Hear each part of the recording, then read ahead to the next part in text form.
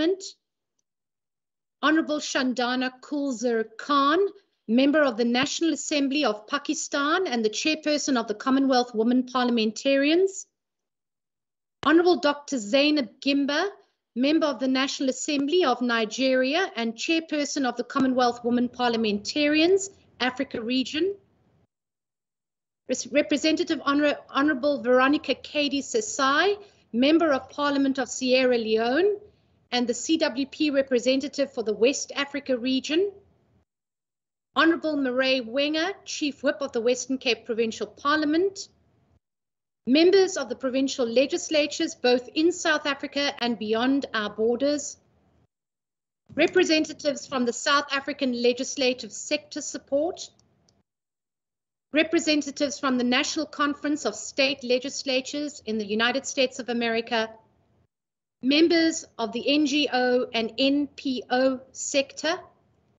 In her absence, Representative Sharon Tomiko Santos from the Washington State Legislature. A very good day to you all, across all parts of the globe and in different time zones.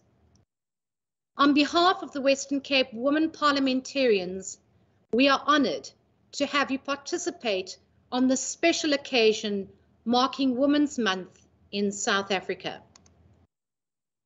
As Michelle Obama once so aptly said, and I quote, no country can ever truly flourish if it stifles the potential of its women and deprives itself of the contributions of half of its citizens. And as complex as that may seem, we as parliamentarians and legislators are here today to bring bold resolutions to the table that could assist in changing the crises women face in this country. Today's session centers on the broad theme, placing the dignity and innate rights of women in the spotlight. I emphasize dignity as the basis of this theme. And Donna Hicks, the author of Dignity, the essential role it plays in resolving conflict, explains it so perfectly, and I quote. She says, the most common response people offer is that dignity is about respect. To the contrary, she says, dignity is not the same as respect. Dignity is our inherent value and worth as human beings. Everyone is born with it. Respect, on the other hand, is earned through one's actions. After people learn about dignity, a remarkable thing happens, she says. Everyone recognizes that we all have a deep human desire to be treated as something of value. Today's speakers and breakaway sessions will look at the broader issues that specifically feed into the legislative space. We are hoping that the ideas and the resolutions that come out from today will be bold and will show courage and commitment to changing the trajectory of women in South Africa. There will be three sub-themes discussed in the breakaway sessions and will be streamed live on our YouTube channel today. The themes are addressing the gender pay gap, and we know that South Africa sits at approximately a 30% gap estimate we will also engage on the adoption of a gender responsive budget, which used to exist in South Africa but no longer is being applied. And we will talk about the increasing of enrollment of women in STEM related university programs. To the women of this province, we honor you as we engage on these big issues. We look forward to today's program as we unpack the difficult challenges that women face. As women parliamentarians and ultimately as legislators, we commit to bringing tangible resolutions to this parliament that can make the meaning change we all seek. I thank you. Just a few notes before we actually begin the program. I would like to ensure that all participants actually make sure that their microphones are being muted. Please use the raise hand function if you would like the opportunity to speak and wait until you've been recognized by the presiding officer. Participants are kindly requested to unmute their microphones when they are recognized by the presiding officer and to please mute their microphones when they have finished speaking. Participants are requested not to sign into MS Teams on more than one device, so either on your laptop or on your cell phone.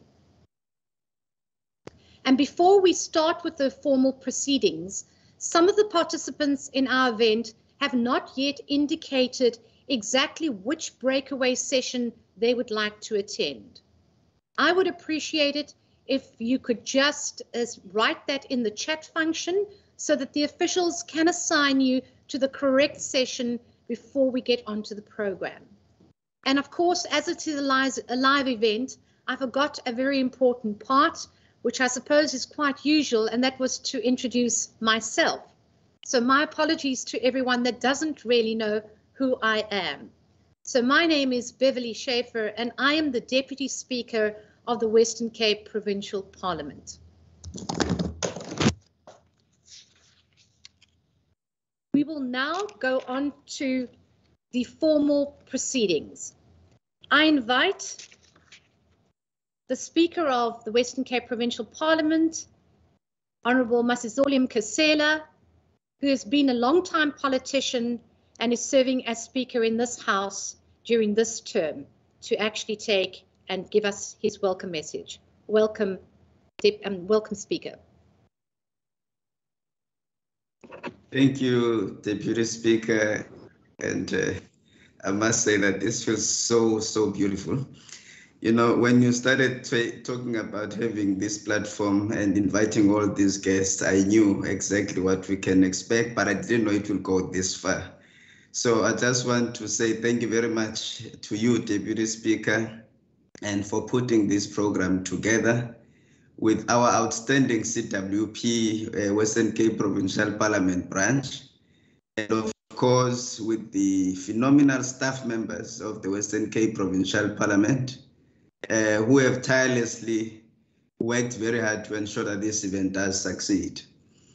I would like to welcome the members of the executive in our Western Cape government uh, who are present here and those who have uh, tendered apologies, uh, I would like to really appreciate the, the, the participation in this in this particular event.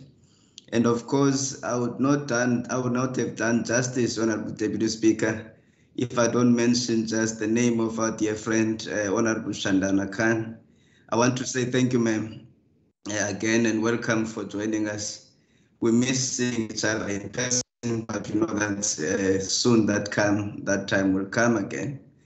Uh, to the honorable members of the Western Cape Provincial Parliament, I wish to welcome you all, and of course to all the guests who are representing organizations in the entire province, and to the distinguished guests who are connecting from the international organizations, and of course to everybody that has taken time to be part of this event. The Deputy Speaker has welcomed you all and mentioned you by name, and I don't want to hurt anyone by not mentioning you, so I will say all protocols observed. That is what we do in South Africa. That means everyone has been acknowledged. Uh, Honorable Deputy Speaker, I do wish, and of course, I hope that as we embark today in this program, we will speak essentially on what exactly it means um, as the Western Cape Provincial Parliament to be representing the people of this province. And what does it mean uh, to the women who find themselves without voice? And what does it mean to women who have no food? What does it mean to children girl children who are sitting at home without any prospects of hope because the environment that they find themselves does not seem to be as equal in, in terms of the standards that we expect. So I do expect that in terms of the Article 1 of the United Nations Universal Declaration of Human Rights, which states that all human beings are born free and equal in dignity and rights. That will be able to articulate what does that, what does that, what does this mean for the people of the Western Cape, represented by the Western Cape Provincial Parliament. The Constitution of the Republic of South Africa Act 108 of 1996, which guarantees a full range of rights to all citizens, the rights to life, dignity, privacy, and many more. What does this mean to the people of the Western Cape as we articulate here today? Section 9, titled Equality, however, specifically protects the rights of women, Honorable Deputy Speaker, and it states that the, the, the, the state may not unfairly discriminate or indirectly against, directly or indirectly against anyone on one or more grounds, including race, gender, sex, pregnancy, marital status, ethnic or, gender, um, origin, uh, color, sexual orientation, age, disability, religion, conscience, belief, culture, language, and birth. Distinguished guests, ladies and gentlemen, the prohibition of discrimination on the grounds of gender, sex, pregnancy, marital status is deliberately intended to protect women. So the gender pay parity that the Deputy Speaker mentioned is, and many other issues that will be articulated here today is one of the serious inequalities that we've seen in our, in our generation, both as humanity and of course as politicians. So we need to really find solutions and of course in dealing with the issues of gender-based violence, uh, femicide, the issues of rape, sexual harassment, the murder and the brutal killings that we've seen of our women in the province and nationally. Uh, also dealing with the rights of the LGBTQIA plus communities and of course, Honorable Deputy Speaker, the issues of homophobia are real issues queerphobia and transphobia are real issues. So I would like to encourage you all as I welcome you all here today, that is this provincial parliament. We are greatly honored and really appreciate your presence here. And we do hope that you are going to engage honestly and truthfully in finding solutions to the daily challenges that confront us. And it can it cannot be a better moment, Deputy Speaker. This is the great time in history. In the height of COVID-19 pandemic, that this parliament has chosen to continue with this particular uh, provincial women's parliament, which is now an international women's parliament. Don't call it anything else. It's an international women's parliament because we've got all of these guests from everywhere and also to appreciate what we have done to invite the other uh, provincial parliaments, you know, the staff from other parliaments, and obviously some of our colleagues, you know, members of parliament who have been invited to participate here today. But I am very much standing here elated at the work that you have done with the CWP branch. And I think uh, Honorable Khan will be very much pleased that the work that she started here to come and launch this branch, that this branch has done so much that it has invited all these beautiful people here on this platform. Um, our work is not done. We have just begun. And I can say that uh, the deputy speaker and all these breakaways, you will see that there's different number mem member of parliaments, members of parliament who are going to be chairing some of the sessions here it's a multi-party dimension. And it's women who come from different political dimensions, from different political backgrounds, different philosophies, but what binds these women here is the fact that we need to fight for the rights of every woman, the rights of every woman, all of all women in the Western Cape, and of course in ensuring that those who are professionals and those who have no school and those who are well educated do find resonance in the work that we do as the Western Cape Provincial Parliament, that we don't represent a particular grouping and leave other uh, sectors and be elitist as this parliament. So this parliament is a parliament of all people. We speak for every woman, for all women. Those who have a voice in this parliament are able to elevate the voices of the voiceless. And that is very important as you continue here today.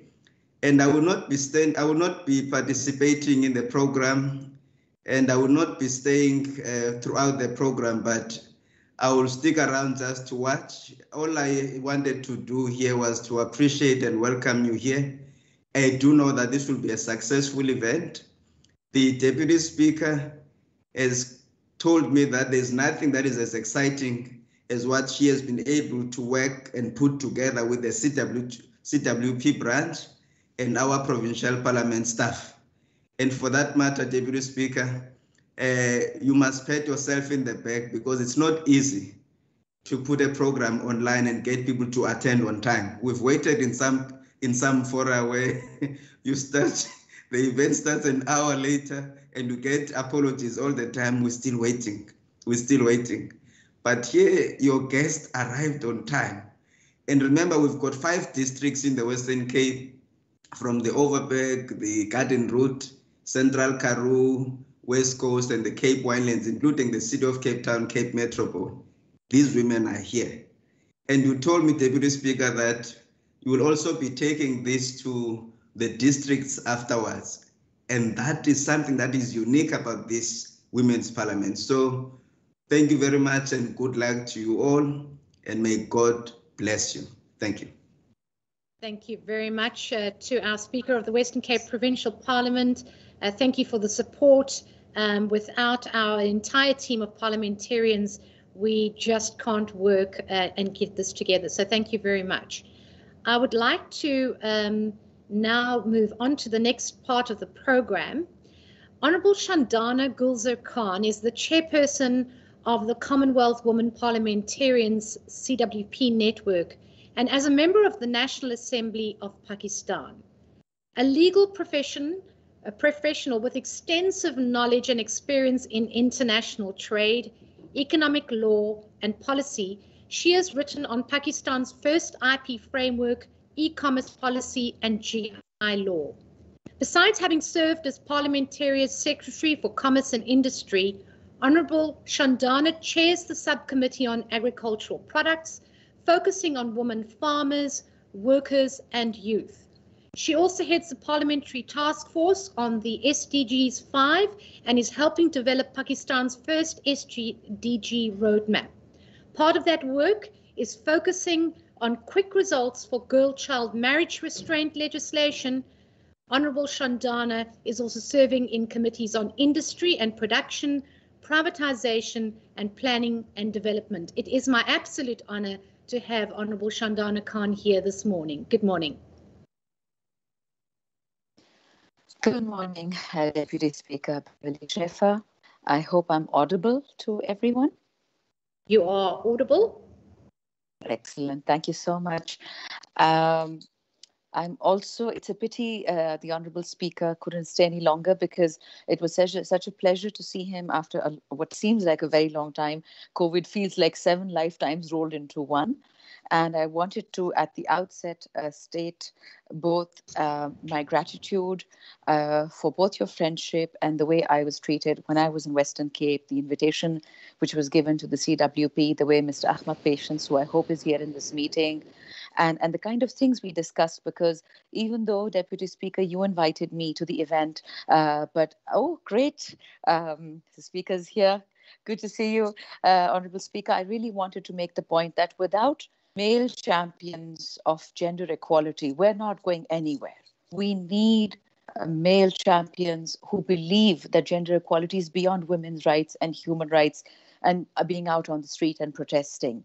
So, so for me, that in itself was an incredible experience because I saw that if a single province in South Africa could do a turnaround so quickly, reviving the women uh, caucus, uh, the, the CWP branch of the Western Cape, it could not have been possible.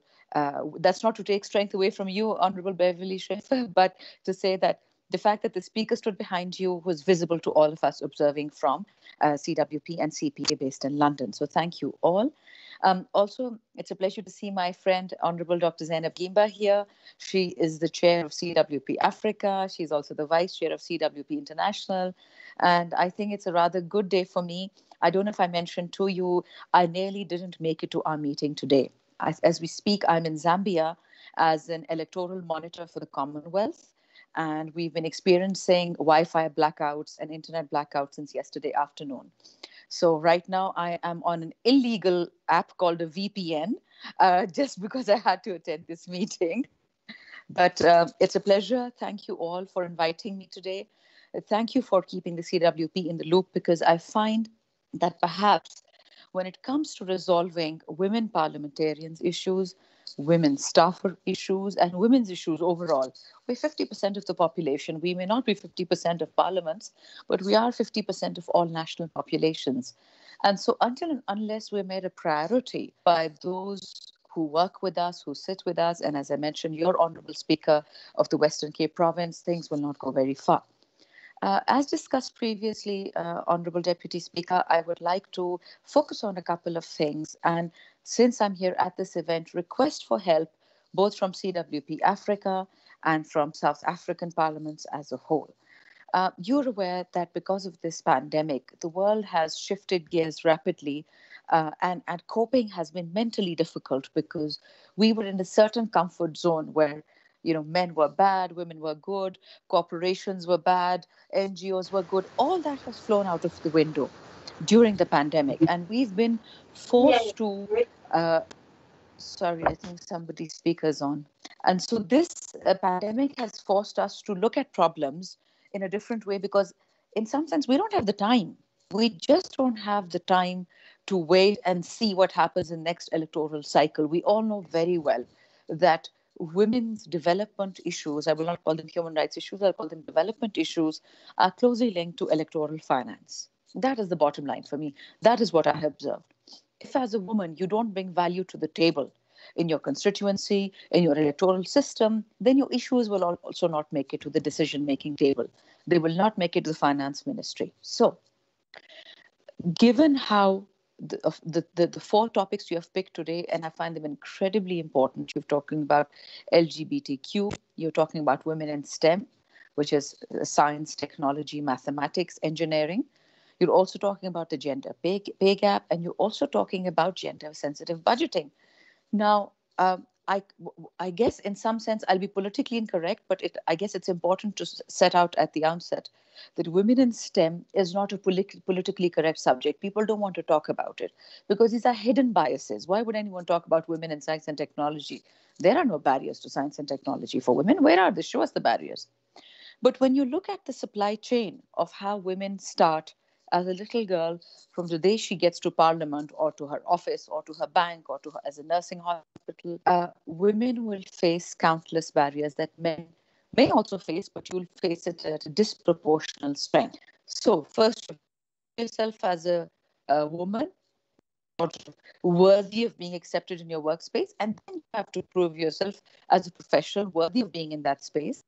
My male colleagues don't have to do that. Now i could either cry about it or i could accept it and work with worthy male colleagues. For example, the UN program. And this, I would urge you, Honorable Speaker, if you could uh, look this up, and Deputy Speaker, if you could push this. The United Nations program, the UN Women program, which is called, it's literally an act, he for she, male champions of gender equality. And I was lucky that after South Africa, after Western Cape, I went to Iceland, where I had the pleasure of meeting the Icelandic president, who is the Icelandic champion for the he for she program. He has adopted it. He is their spokesperson. And as the joke goes, I have a mother, he said, I have a wife and I have three daughters. So there is no way I cannot champion for their equality. And so if the Western Cape Parliament could start with this and spread to all of um, the rest of South Africa and also request you, Honorable Dr. Zainab Gimba, if you could champion this, talk to CPA Africa that let every male speaker, every male deputy speaker become the spokesperson and the point person for the he for she program of UN Women. That is my first request from the CWP International side to everyone. That is important. You will see the progress you'll make. It will be very quick. Number two, I would recommend everyone to read the papers that have been prepared by the Western Cape Parliament. They're very well written papers. Uh, they're self explanatory. They explain a lot of things about what is going wrong and what are the quick solutions. Because I think in the pandemic, what we cannot afford to do as a global sisterhood is to wait for others to give us the solutions. We'll have to create them. And there's nothing wrong in that. If we're being asked to step up, we asked for power, now we've been given power. Let's exercise it. My third request to you today is that the Commonwealth Women Parliamentarians, both me and Honorable Dr. Zainab Gimba, we worked very hard over the last two years since we took office to produce uh, products, to produce documents, to produce policies that would help the entire women in the Commonwealth.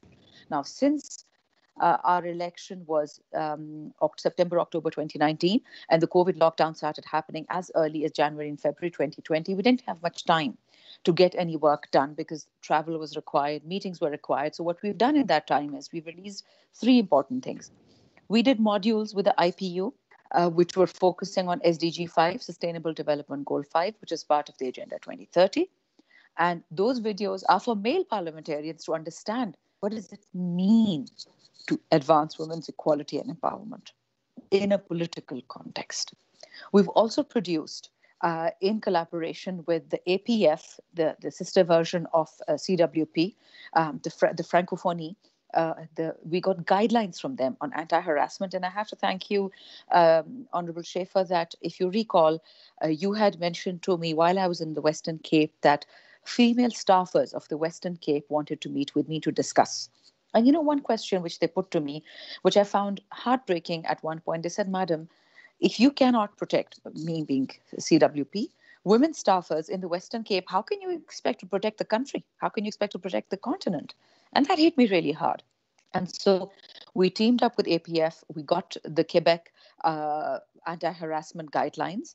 And now we have sent those uh, uh, approved guidelines as per CWP vetting. And 180 different branches of CW uh, of Commonwealth parliaments have those guidelines. So I would request through your good office's speaker, through your good office's deputy speaker, to ensure that those guidelines are adopted in all of South Africa by each parliament separately. And once those are done, they are actually, because it's not a legislative piece that you have to do, it's a policy document that will come into all contracts for all women that are hired by your parliament. So, not only women parliamentarians, but also female and even junior male staffers who might be victims of targeted harassment, they have protection, statutory protection through their contracts. The third thing the CWP, Dr. Zainab Gimba, and I did was creating a gender sensitization toolkit with our lovely team in London, which is Benit, James, Aksa.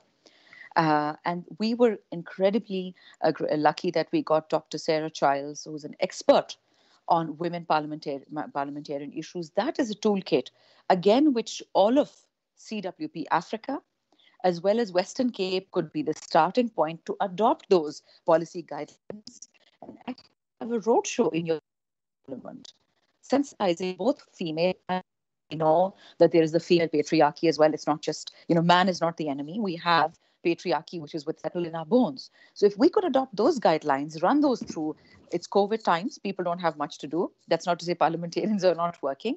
But those three things would be so useful as a concrete follow on from what we discussed in Western Cape for what has been happening in CWP International. And let Africa lead as always, because I have to say, Dr. Zainab Gimba was kind. She invited me to Arusha in October 2019, right after our election, where I observed CWP Africa in action. And I have to say, I'm very impressed. CWP, at present, we're working on a constitution, but we don't have CWP Africa does. CWP Africa does.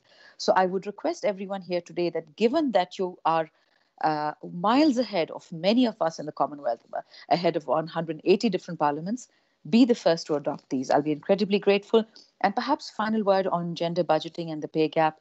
I think it's high time we recognize that it's one thing to protect women from violence, another to give them political rights, another to give them human rights. But till women don't have financial inclusivity in our policy, in our finance ministry, in our national budgets, I'm afraid the game is going to stay where it is. And I don't know if you remember, I've been following the feminist movement in the United States for many years. And there was Germaine Greer from the UK, a lot of people from the United States. And these women did say one thing which was interesting. It was tough at the time, but it was interesting. They said that when we started the women's equality movement, we didn't promise you equality culturally because cultures take their own time in changing. We promised you financial equality. We promised you economic equality. So maybe if we focus on that, we will have far better results than focusing on cultural problems that we all face in our own jurisdictions and international jurisdictions. I think I've done my 10 minutes. It's been a pleasure. Thank you all for being a lovely uh, group of people to talk to. I will requ- I will stay online, but uh, I'll not you'll not be able to see me because, as I said, I'm working on a VPN, and I'm headed for the airport in about half an hour. So you'll excuse me that I may not be res- able to respond to questions if there are any directly, but if you were to send them in writing um, through the good offices of the Honorable Speaker, Deputy Speaker, or to I'm very happy to this. Thank you so much. Thank you very much, Honourable Khan. Before you go and uh, before you switch your screen off, um, I would just like to recognise Premier Alan Winde, who's very kindly and um, made some time to actually log on, uh, Honourable Khan. So he's here while while you have been speaking, and I thank him for making some time to be able to do that. Um, really a great pleasure. Thank you, Premier. That that means a lot, and I know that um, Honourable Khan feels the same way. And I know you are a great, um, a great proponent for women's rights and women equality. So thank you very, very much.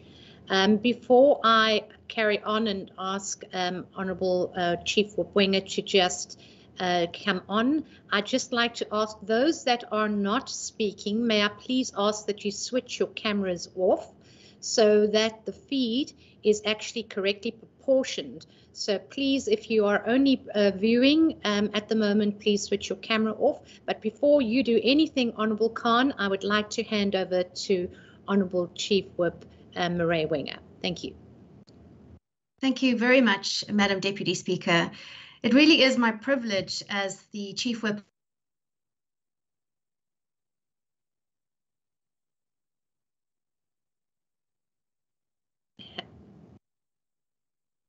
Have we lost um, Honourable Wenger? It's it seems we have. If I can just ask the IT staff, Honourable Wenger, are you there? Am I back online? Yes. Would you start again? There we are. My apologies. Um, thank you again. It's my privilege as the Chief of the Legislature to give a vote of thanks to Honourable Shandana Gulzar Khan.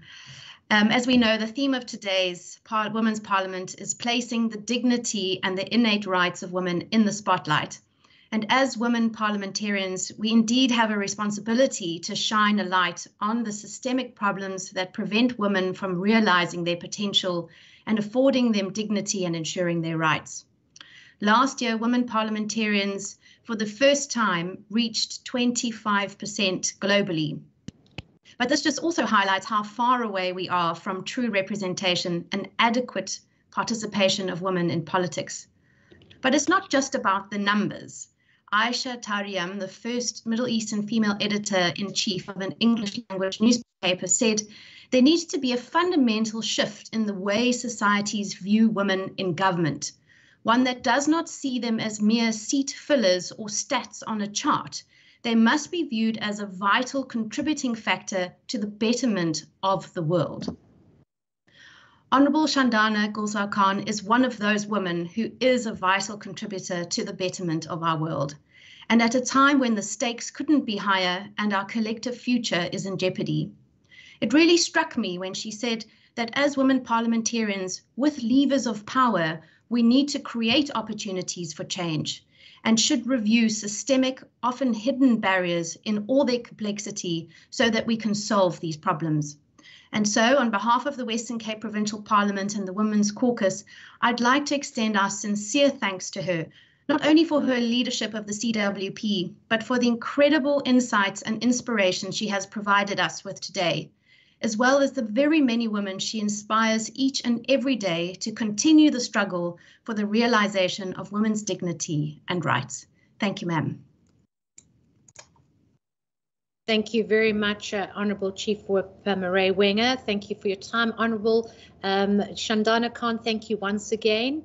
and uh, always for making for always making time for us. We will move on now. I'd like to welcome Honourable Zainab Gimba, who is currently the chairperson of the Commonwealth Women Parliamentarians for the Africa region and vice chairman for the CWP International. She started her public service career as a lecturer in the Department of Public Administration, University of Maiduguri, Nigeria in 2002. Before her election to Parliament, she had at different times between 2011 and 2018 served as Commissioner in charge of Poverty Alleviation and Youth Empowerment, Universal Basic Education Board, and Water Resources in her home state of Borno in Nigeria.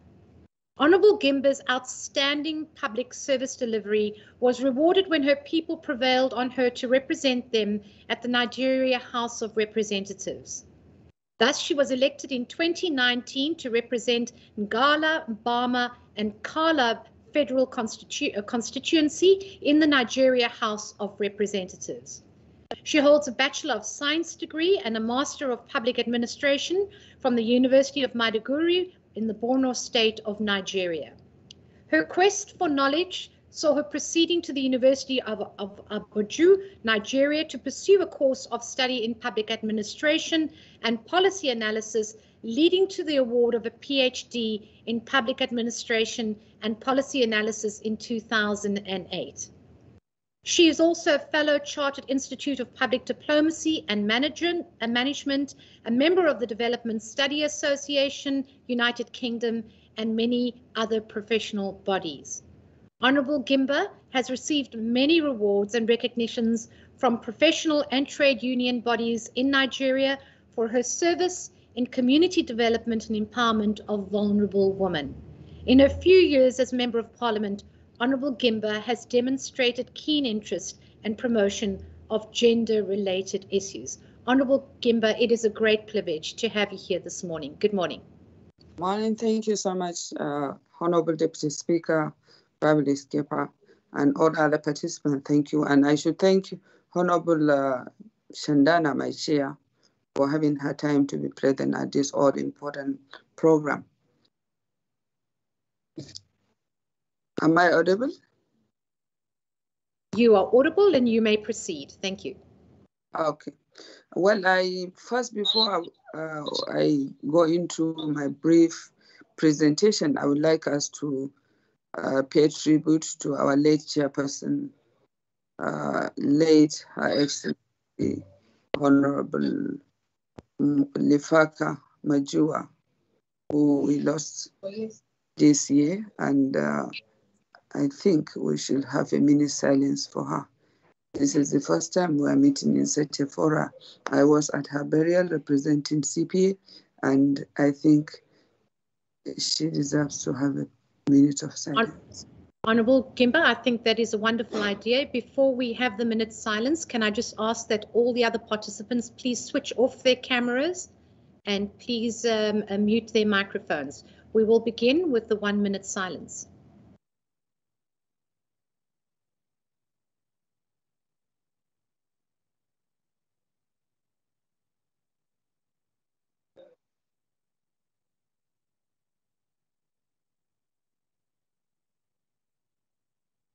Thank you. Over to you, Honourable Gimba.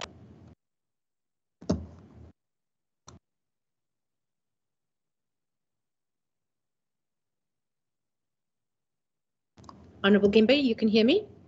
Yeah, thank you so much. Yes, thank you very much. Yeah, uh, well, I'm happy to be with uh, in your mix today uh, because the promotion of dignity of women is the promotion of human rights. The theme of this sitting is very instructive in view of the prevailing global pandemic that has affected almost every facet of life and has created the gender gap because women are more affected in this pandemic. While it is true that everyone is affected, I know, but women are most affected by the pandemic in many ways. And uh, if you look at societal institutions, including traditional religious bodies and their leaders have key role in, in upholding the uh, dignity and uh, human rights of women. Uh, this is as important as any practices that limits women's ability to be heard and contribute to her development and that of our society, because that will demean her humanity and amounts to abuse of human rights. Let it be noted that every woman has the right to live a dignified life and uh, that is free from discriminations, that are free from all forms of abuse and violence, etc. Uh, we must therefore push for a change of societal norms and practices that attempt to take away this rights from, from us, from all women. We must also make deliberate efforts to increase women representation, especially in the parliaments and other government positions. And uh, because if you look at uh, issues of public policy positions, there are not enough women to represent while we constitute a great percentage of the population, we have very little percentage to represent us. So it is important that in parliament and other uh, public uh, uh, policy positions, women has to be enabled to take direct involvement in actions aimed at shaping their socio-economic well-being. I just want to give an example, for instance, in Nigeria, the yearly budget has been lacking in many specific provisions for the women of gender-related issues, as it generalizes its provisions irrespective of inherent peculiarities. A gender-based budgeting does not mean creating a separate budget, but one that improves transparency, participation, and gender analysis of national budgets. Our budget assumes everyone is carried along. For instance, a gender sensitive budget for a ministry should show how allocation of budget, total budget is made and how such allocation benefits women and men, girls and boys in a given society. Essentially, national budget should benefit everyone, but it is not like that. So these are one of the issues I just want to bring because I'm sure in every part of the world, it is eh, just something similar that is happening.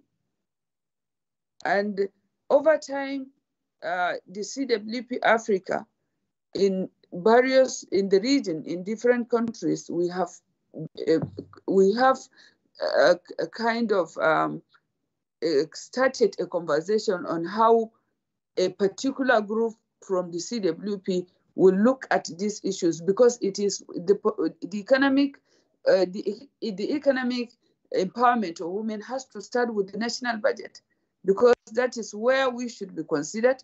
That is the, the where the planning should take appropriate measures. So we are now working with all parliaments within Africa to ensure that these things are all inclusive in our budgets, especially in the next coming 2022. So when we when we come to when we come to budget, um, I mean when we come to the right of women, the human rights is women's rights. And if you look at some, uh, uh, for instance, and if you look at the Universal Declaration, our rights are all unalienable. They can't be taken away or given away. Every woman has the right to live in dignity, free of fear, coercion, violence, and discrimination. Every woman has the right to health, including sexual and reproductive health.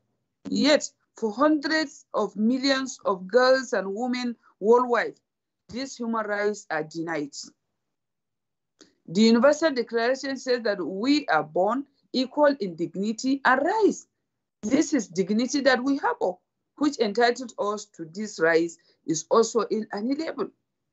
Numerous international and regional instruments have drawn attention to gender-related dimensions of human rights issues, the most important being the UN Convention on the Elimination of All Forms of Discrimination Against Women, adopted in 1979. Uh, participants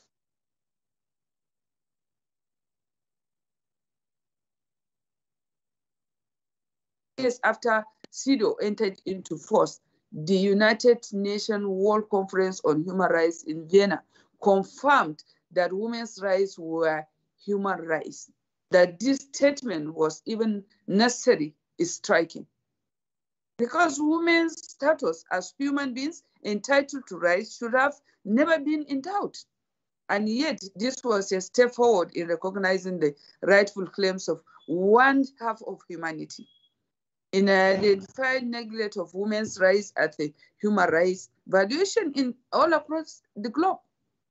Because women constitute almost half of the world population and are one of the main stakeholders of every society. That there is no doubt. They play unique roles in the societal and family system. Sometimes a woman appears as a mother, sometimes as a wife, and sometimes as a daughter. All these roles are respected and dignified. Despite all these international treaties, state laws, government schemes, and programs for women empowerment, equal, uh, uh, uh, I mean, equal rights and the, uh, and the girls' education, the condition of women in contemporary Africa is deplorable. Their rights are continually violated through genital mutilation, women trafficking, domestic violence, discrimination at work. The societal state of women in the patriarchal society seems to be dependent on their men. They are denied access to social justice and inequality. The harsh reality is that the building blocks of discrimination against women lie within the very systems that are supposed to nurture and defend them, namely the family and the community, and the societal perception of men being more superior to women is accepted. This narrative is, uh, I mean, this narrative is ingrained in the consciousness of children, even at very young ages. Covet women's uh, uh, you mean women's right is human rights. She has the right to take decision on issues about her life. Of course, it is her life. And, and that, that right should not be denied. Her sexual, uh, I mean, if you look at sexual reproductive right and health, right to consent in marriage, the right to property, right to qualitative education, right to political civil participation, labor and employment, among others. We must continually place issues that, uh, you know, concerns women in the front banner because violence against women is not inevitable. Families and uh, communities can change social norms and attitudes. Governments can put strong laws in place, enforce them, and bring perpetrators to justice. A strange I mean, more stiffer uh, penalties. And societies can guarantee the right to sexual and reproductive health, which includes services to family planning, maternal health and HIV prevention, and the ability to make free and informed choices among reproduction. There have been great and uh, commendable contributions over the years of women in various parliaments in Africa, but we must up the ante by providing deliberate and robust legislative safeguards as it concerns the economic empowerment access to education, political space, and the total abolition of all dehumanizing cultural practices against women, not only in Africa, but in the, in the world. The use of the media as a platform for advocacy against, you know, practices inhibiting women from harnessing their full potentials must be made available so that women can easily be able to fulfill their purpose in choose in their chosen endeavors. Uh, the justice system as an uh, arbiter should be seen as uh, unbiased in the dispensation of justice to perpetrators of violence against women, especially the fact that if you see a, a, a girl is in a society, a girl is raped, and then that culprit is still moving around freely without taking any action by the law, which is very painful.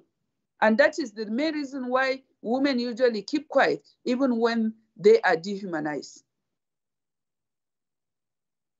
Uh, Honorable Deputy Speaker, I don't know if my time is off. Welcome to finish off, Honorable Gimba. Okay, thank you very much. Um, I, I, uh, I want to further say, just to give an example, maybe people can have um, some little knowledge about my country in Nigeria, we are convinced that a coordinated and comprehensive approach will move us closer to a world where women and girls can live free from fear, violence, and discrimination. Uh, well, uh, reach to at least to reach their full potential and enjoy equal opportunity and uh, even mutual respect and convenience, confidence with men. So therefore, we have set up in that respect an agency of government or agencies, I can say, it's not even only one, which are saddled with responsibility of addressing and protecting the rights and dignity of women. These agencies are the National Agency for the Prohibition of Trafficking in Persons, which was created on the 14th of July 2003 by the, uh, by the Trafficking in Persons Provision Act. And that uh, agency is doing very well. It goes round across the world to ensure that traffic girls or uh, would are brought back and rehabilitated in the country. And another one is the National Human Rights Commission, which was also established by an act in 1995 through legislation, which is essentially a wider functioning covering vasta spaces and free to waive publics of uh, fundamental mutation. We in the National Assembly, through the instrumentality of the law, have introduced bill on the discrimination against women and other related matters bill in 2006 and a bill for an act seeking to eliminate all forms of discrimination against women has killed a second reason presently at the uh, uh, House of Representatives. This will help to enforce the protocol on the African Charter on, uh, you know, human and people's rights, on the rights of women, despite all the legal uh, provisions and government endeavors, the ground reality is very different, you know. Women are still not being treated as equal to men in our continent. Uh, the patriarchal mindset should be discarded within in a 21st century of forced modernization. And we must realize that women remain an integral part of the human community and that it will be impossible to consider socio-economic and societal transformation, Honorable Deputy Speaker, in isolation without women and men together playing their due development role. So I think uh, we, I'm just enjoining on all these, our participants, on all leaders, we must make an attempt of building a dignified image of women in our continent. Once the image of equality is established among people, it will last for long and forever. So my plea is for all of us to put our hands on deck to work to ensure that we build this image in the continent. Thank you very much. Thank you very much, Honorable Gimba. Some very, um, very important words there. But I would like to invite, before you close your screen, I would like to invite Honorable Naomi Nkondlo to be giving her vote of thanks on behalf of the Western Cape Provincial Parliament. Honourable Nkondlo, are you there? There you go. Thank you. Thank you, uh, Deputy Speaker. Um, let me also greet and um, uh, thank this opportunity. Uh, most importantly, let me say to Honorable Gimba, uh, in my language, Kosa Enkosi uh, the wise, wise words that you have shared with us, that indeed I want to confirm with you that human rights are women's rights. And indeed, as a woman, we want to welcome and appreciate women professionals, women in the academia like yourselves, as we have heard of your credentials, that there is a big role that you can play in reshaping politics, in reshaping the public sector because that is where decisions about policies, about legislations that affect the ordinary lives of women. Further than that, the knowledge that uh, is created in the academic space, the knowledge that is produced by women in their day to day activities in communities. Women must be able, as you had already alluded to that fact, to influence and inform policy. No longer, after all these years and centuries, we must continue to have legislations, policies that treat women as if they do not exist. We need to ensure that the information, the knowledge that we create, the knowledge that we interact with also in our parliaments, bolster civil society, strengthen community activists, and women who sits and look after their households. I want to appreciate um, your presence and your wise words, Honorable Gimba. As a gender activist yourself, I think the awards that you have already received in your country, The fact that even at this point you are chairing at an international level Commonwealth uh, Parliament is also a demonstration of the power of women. And indeed, if we consider now, 42 years later, the UN Declaration Against Discrimination on Women, Girls, and Children, we must be a generation of women that is impatient on realizing exactly what you have said of ensuring that we build a dignified image of women in the continent. On behalf of the provincial, uh, Western Cape Provincial Parliament, uh, women also in other legislatures that have joined us, I want to say once again, thank you very much uh, for the words that you have shared. And I think we will be going into our conversations with um, uh, that information, the insights that you have provided to us, and be better in the debates that we are going to take up. Thank you very much. Enkos. Thank you. And Honorable Speaker, I think um, I should commend you for this kind of program. It is the of its kind I have ever attended, and it has impressed me even from the program, from the papers presented overview. And I think I must confess to you that I have taken it from today to encourage other parliaments to have similar things and will also enjoin on you for your insight, for your help, for your support while we work in other parliaments in Africa. Thank you so much. Thank you very much, Honourable Gimba, and we are always happy to assist. And in the end of the day, it's all about a unified and, and a team approach. So thank you very much, and thank you for your time. We really appreciate um, your words. Thank you. You're most welcome. I now uh, would like to welcome the representative Sharon, Ms. Sharon Santos from the Democratic member as a member of the Washington State Legislature. She was a community activist for more than 40 years. Sharon Tomiko Santos was elected to the Washington State House of Representatives in 1998.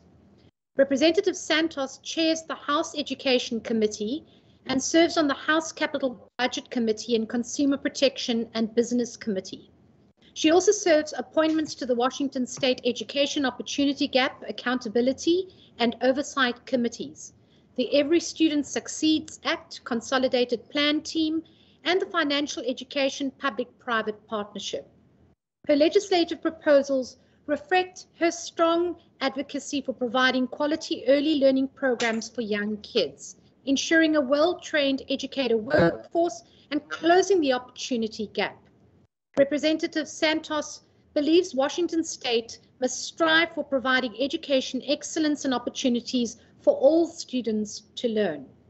Outside of her education, her key policy interests include civil rights, women's rights, economic and environmental justice, affordable housing, and quality public education.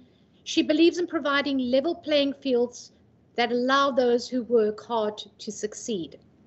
Representative Santos has served on dozens of boards and foundations, including the Boys and Girls Clubs in the King County National Asian Pacific American Women's Forum and the University of Washington Business and Economic Development Program Board of Ambassadors. She has received numerous awards for her legislative and community work, including the Kip Tokuda Community Leadership Award from the Asian Pacific Islander Community Leadership Foundation and the Leadership and Vision Award from Junior Achievement of Washington. A graduate of the Evergreen State College and Northeastern University, Ms. Santos has worked in the banking industry on staff to local public elected officials and in senior management positions for non-profit organizations. Due to the time difference, the immense time difference, Ms. Uh, Representative Santos has very kindly done a pre-recording address for us to view. Thank you very much, Ms. Santos. Over to the IT.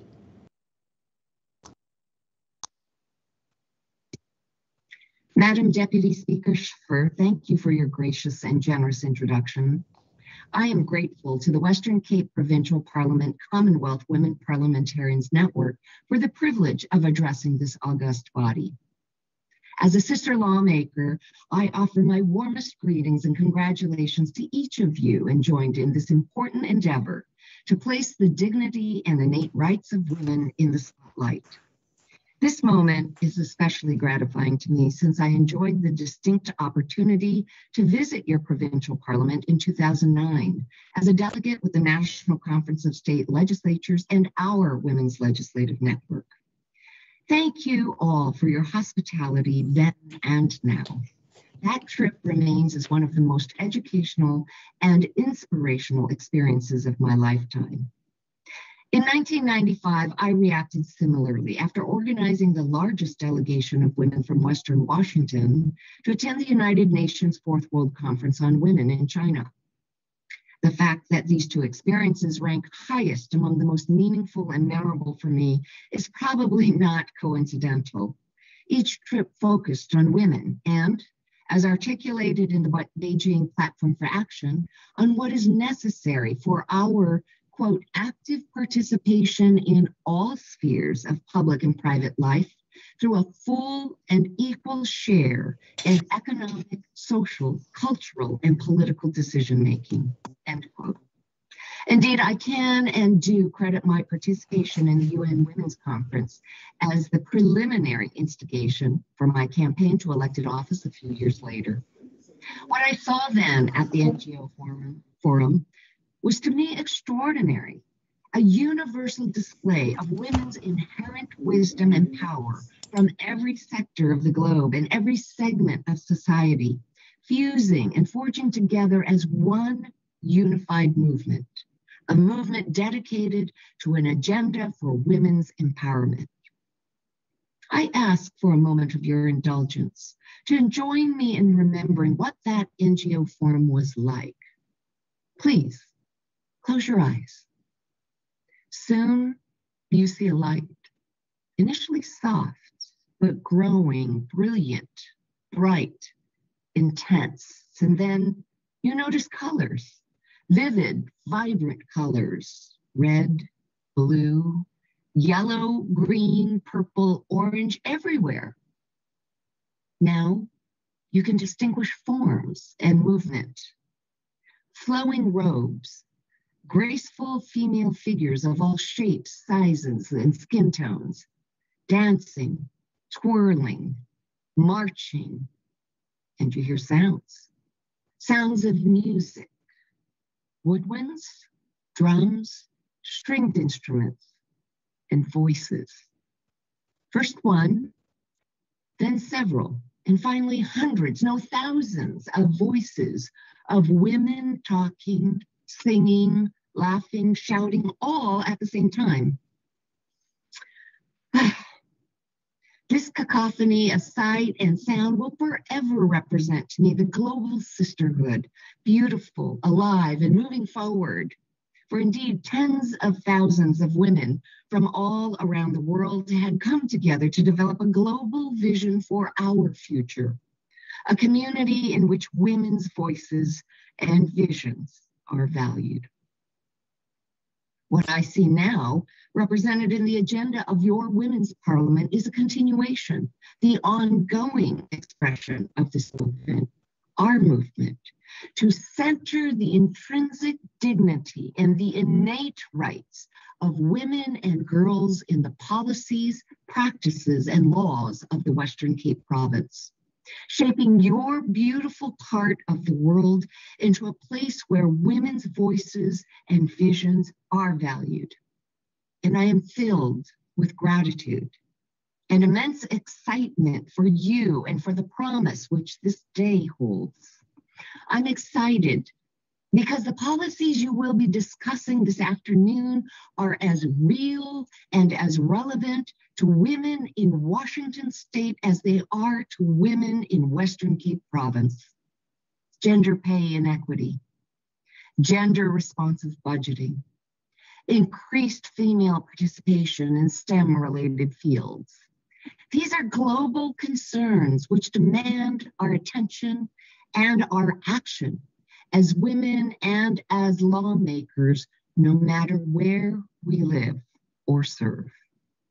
Since I serve as the chairwoman of education for my legislative chamber, I am especially interested in our shared concern about disproportionality in educational outcomes for girls and other marginalized groups of students, not only as a matter of equity, but as a fundamental national security strategy.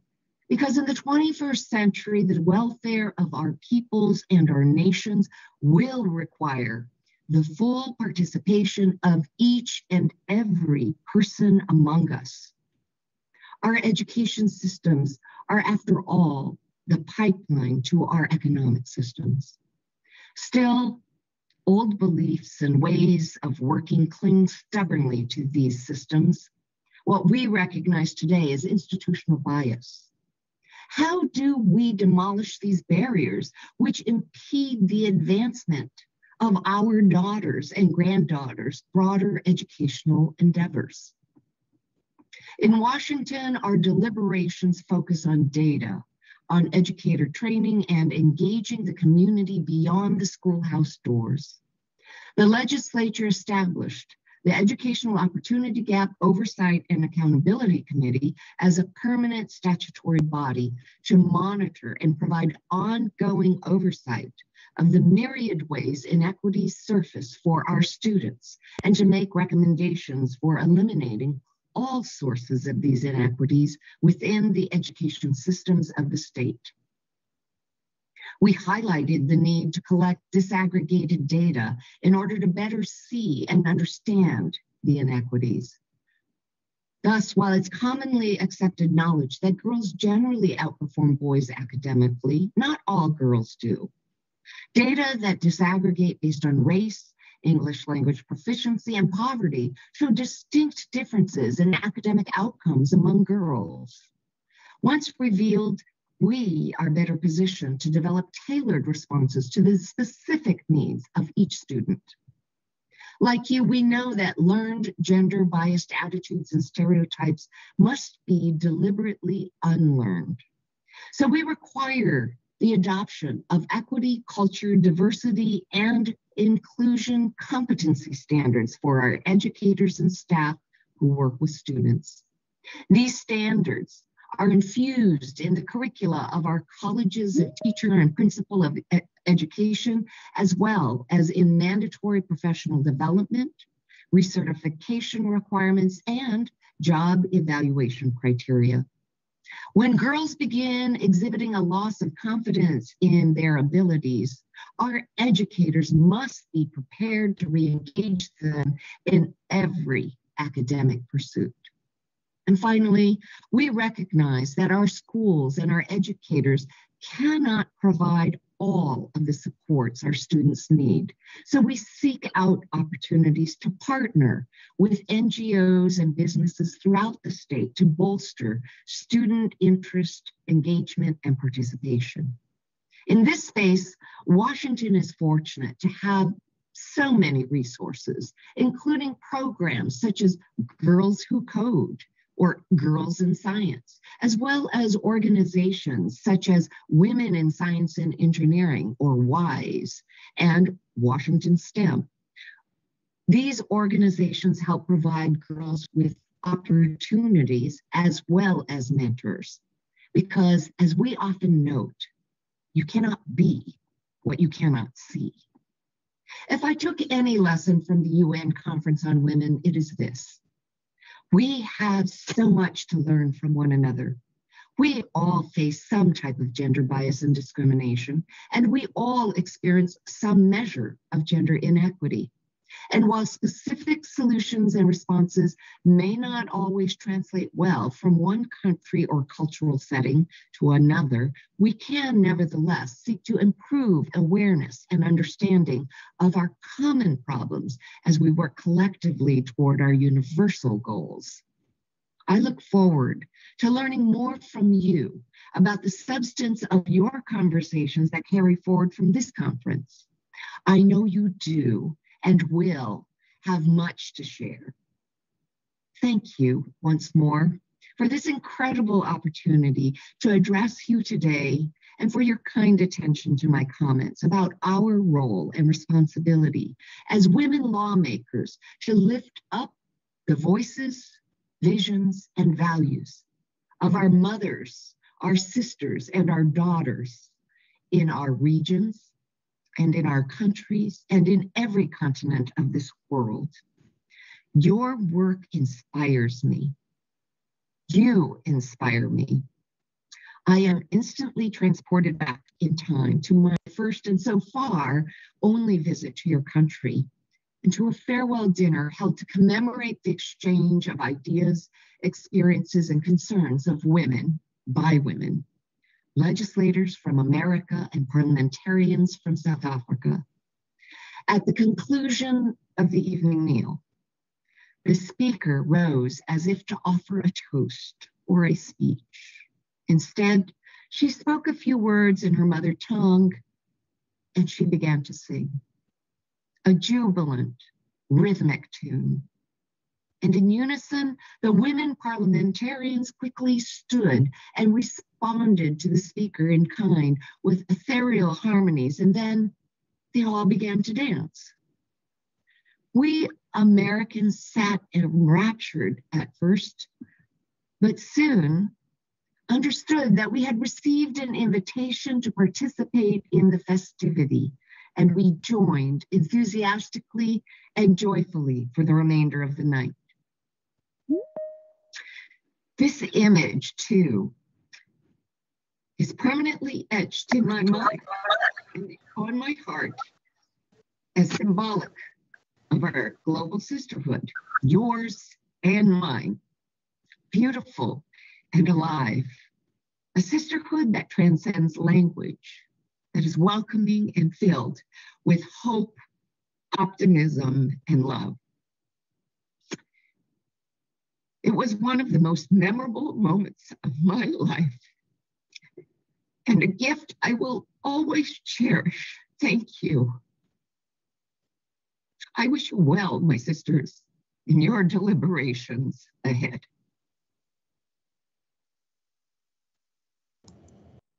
Thank you very much, um, Representative Santos. I had to take a big swallow there. I'm going to immediately call up Honourable Deirdre Baartman to give her vote of thanks to Representative Santos. Please may I ask that um, our guests switch off their cameras. Um, Ms. Michelia, if you can switch your camera off, please, um, for the sake of the streaming. Thank you very much.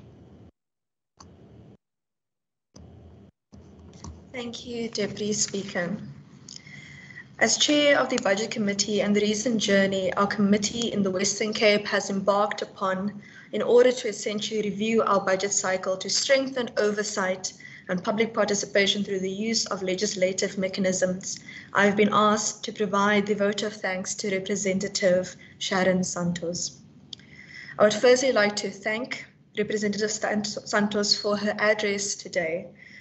It has been moving and inspiring her advocacy for the provision of quality early learning programs, a well-trained educator workforce, and closing the gap is testimony to her dedication towards women's rights and the advancement thereof.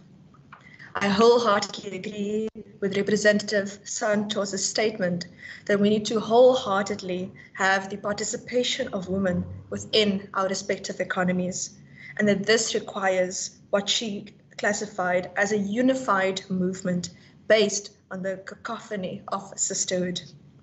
It is time that our governments and our treasury departments put their money where their mouths are. And your presence and participation in this conference is much appreciated. And we look forward to the use of your guidance and lessons received today to continue the fight towards gender equality within our lifetime. Thank you. Thank you very much, uh, Ms. Baartman. Much appreciated. And uh, once again, a big thank you to Representative Santos. Before we continue, can I just ask that those members that are online um, and guests who have not yet in the chat function indicated which breakaway group they would like to be on, if they could do so now as we get closer and closer to the breakaway sessions. I'd like to move on to the program and welcome the Minister of Social Development, Ms. Uh, Member, Honourable Member Sharna Fernandez. Um, she was appointed to her current role in 2019. Um, Honourable Member Fernandez has served as Speaker of the Western Cape Provincial Parliament from 2014 to 2019. And prior to a political career, she enjoyed a 30 year career in three of South Africa's four largest banks. In August of 2009, she was uh, she fell ill and with H1N1, which forced her into early retirement. In order to restore her health, her recovery period took almost three years. And once she regained her strength, she started doing community work and became actively involved in civic matters by serving as chairperson of the local neighborhood watch and participating in various community structures. During her tenure as Speaker of the Western Cape Provincial Parliament, she served as the Rules Committee Chairperson as well as Chairperson of the Western Cape branch of the Commonwealth Women's Parliament. She is passionate about people and serving others. Her personal values, such as honesty and integrity, are deeply entrenched. She is outspoken about human rights and women's rights and tackling the scourge of substance abuse. As the lead provincial minister for gender based violence in the Western Cape and a survivor of gender based violence herself, Ms. Fernandez leads with a kind heart and a strong mind. I welcome Minister Sharna Fernandez. If I could just ask that other members switch their cameras off. Thank you very much. Over to Good you. Good morning, Honourable Deputy Speaker. Am I audible? You are audible. Thanks, Minister. Thank you. To the Honourable Premier, all Honourable Commonwealth women parliamentarians, the Honourable members of this August House and other provincial legislatures in South Africa, civil society organisations, distinguished guests, ladies and gentlemen, good morning. I greet all the attendees in peace. Honourable Deputy Speaker, placing the dignity and innate rights of women in the spotlight is almost impossible to discuss without acknowledging that gender inequality and patriarchy remain critical challenges that threaten the progress of living in a society that is just. The year 2020 marked the 25th anniversary of the Beijing Platform for Action and was intended to be a groundbreaking initiative for gender equality. Instead, a recent policy brief of the United Nations looking at the impact of COVID on women and with the spread of the COVID 19 pandemic, indications are that the limited gains made in the past decades are at risk of being rolled back. The pandemic is deepening pre existing inequalities and exposing the vulnerabilities in social, political, and economic systems, which are in turn amplifying the impacts of the pandemic. Across every sphere, from health to the economy, security to social protection, the impacts of COVID 19 are exacerbated for women and girls simply by virtue of their sex. Compounded economic impacts are felt especially by women and girls who are generally earning less, saving less, and holding insecure jobs or living close to poverty. Unpaid care work has increased, with children being out of school, heightened care needs of older persons, and overwhelmed healthcare services. As the COVID 19 pandemic deepened, economic social stress, coupled with restricted movement and social isolation measures, saw gender based violence increasing exponentially.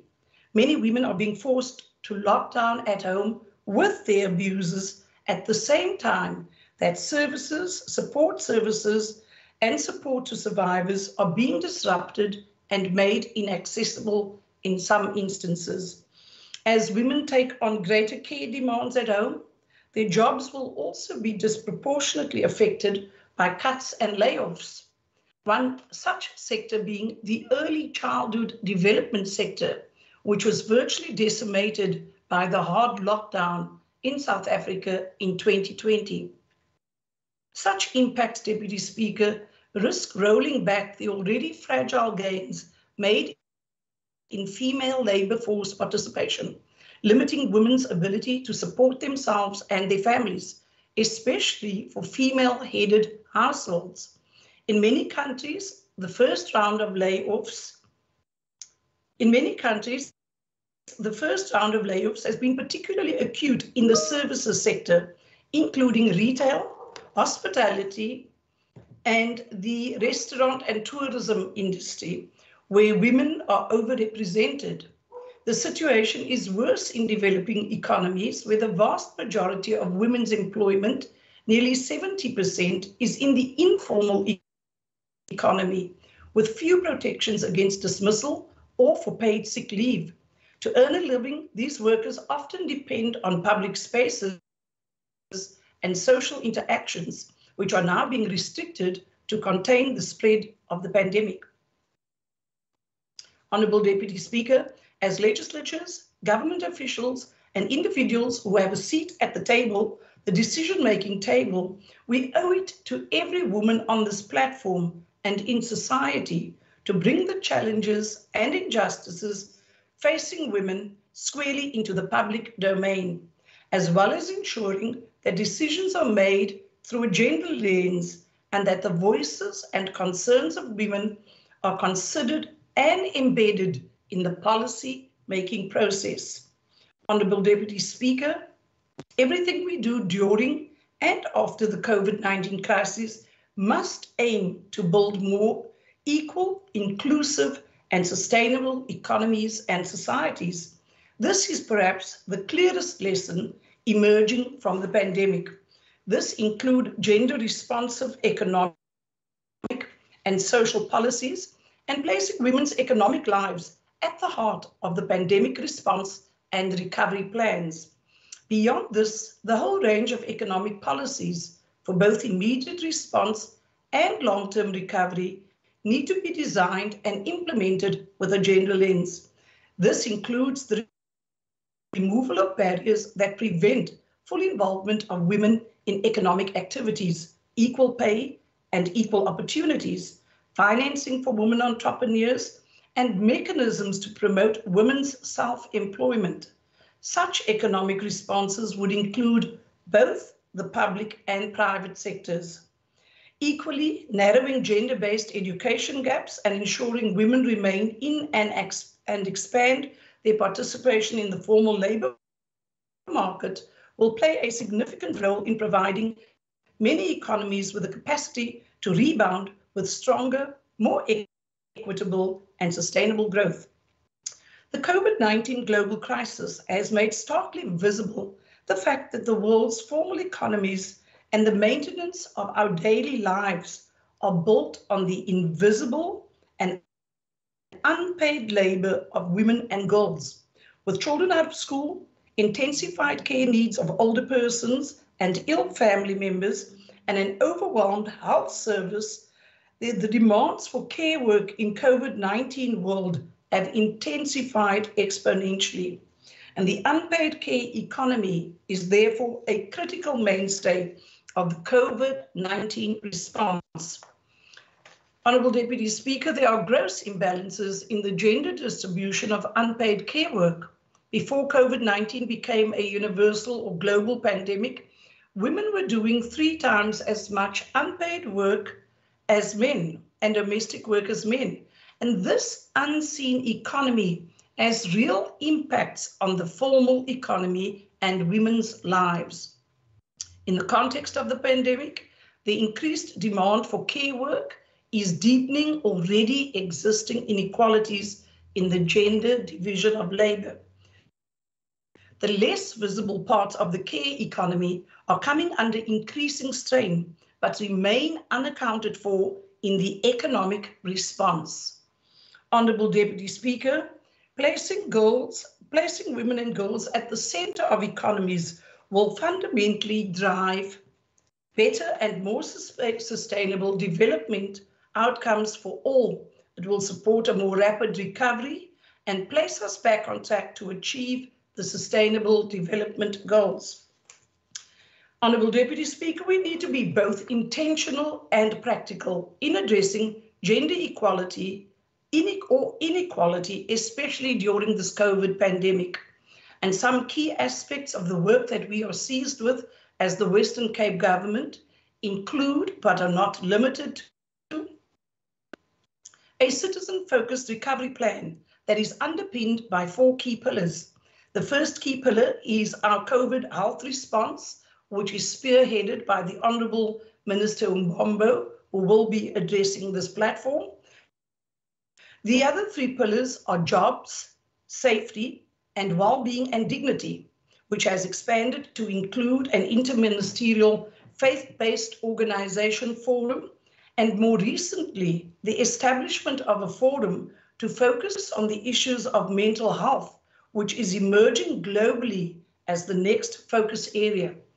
As a government, we have adopted a 365-day focus on gender-based violence. As the Minister tasked to lead gender-based violence in the province, we have established an internal transversal GBV forum where every department is represented by a gender champion. The role of the forum is to create awareness and facilitate an understanding of gender, gender equality, gender equity, and gender-based violence, amongst others, in an effort to shift behavior and the culture within government. We will also be focusing on the elimination of violence and harassment in the world of work as per convention number one, number 190 of the International Labour Convention.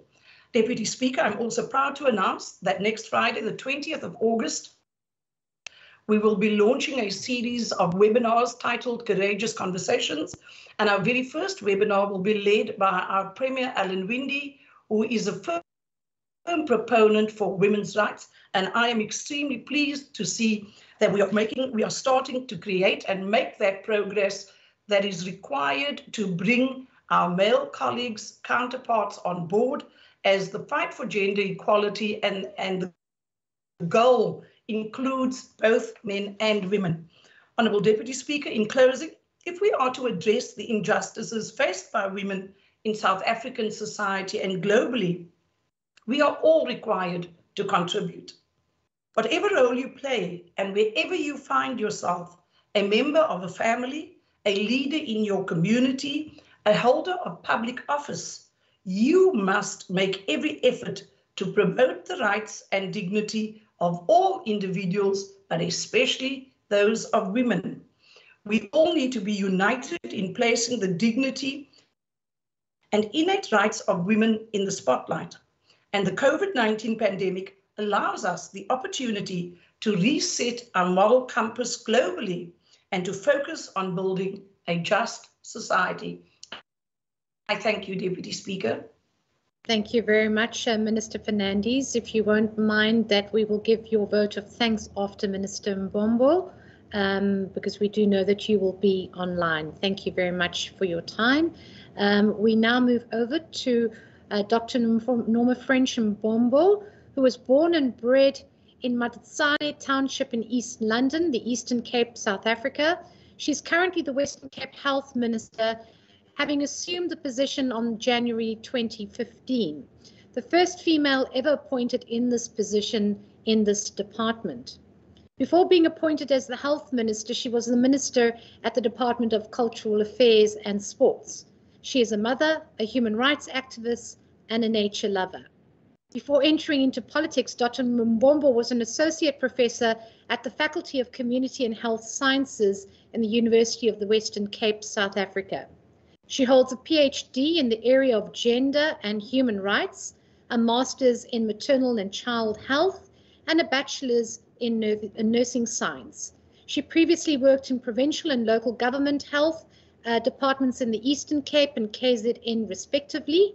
Dr. Mbombo has held advisory and consultative roles to various ministries of health in Africa and in a multinational, uh, in various multinational organizations across the globe. Her area of interest and closer to her heart is community empowerment as agency to reclaim the voices of the populations at risk, such as young women, girls, rural women, and minority groups. And she lives with her life mantra, where I am planted, I grow. I welcome Minister Nomafrench Mbombo. Thank you, uh, Deputy Speaker. Uh, good afternoon, uh, everyone.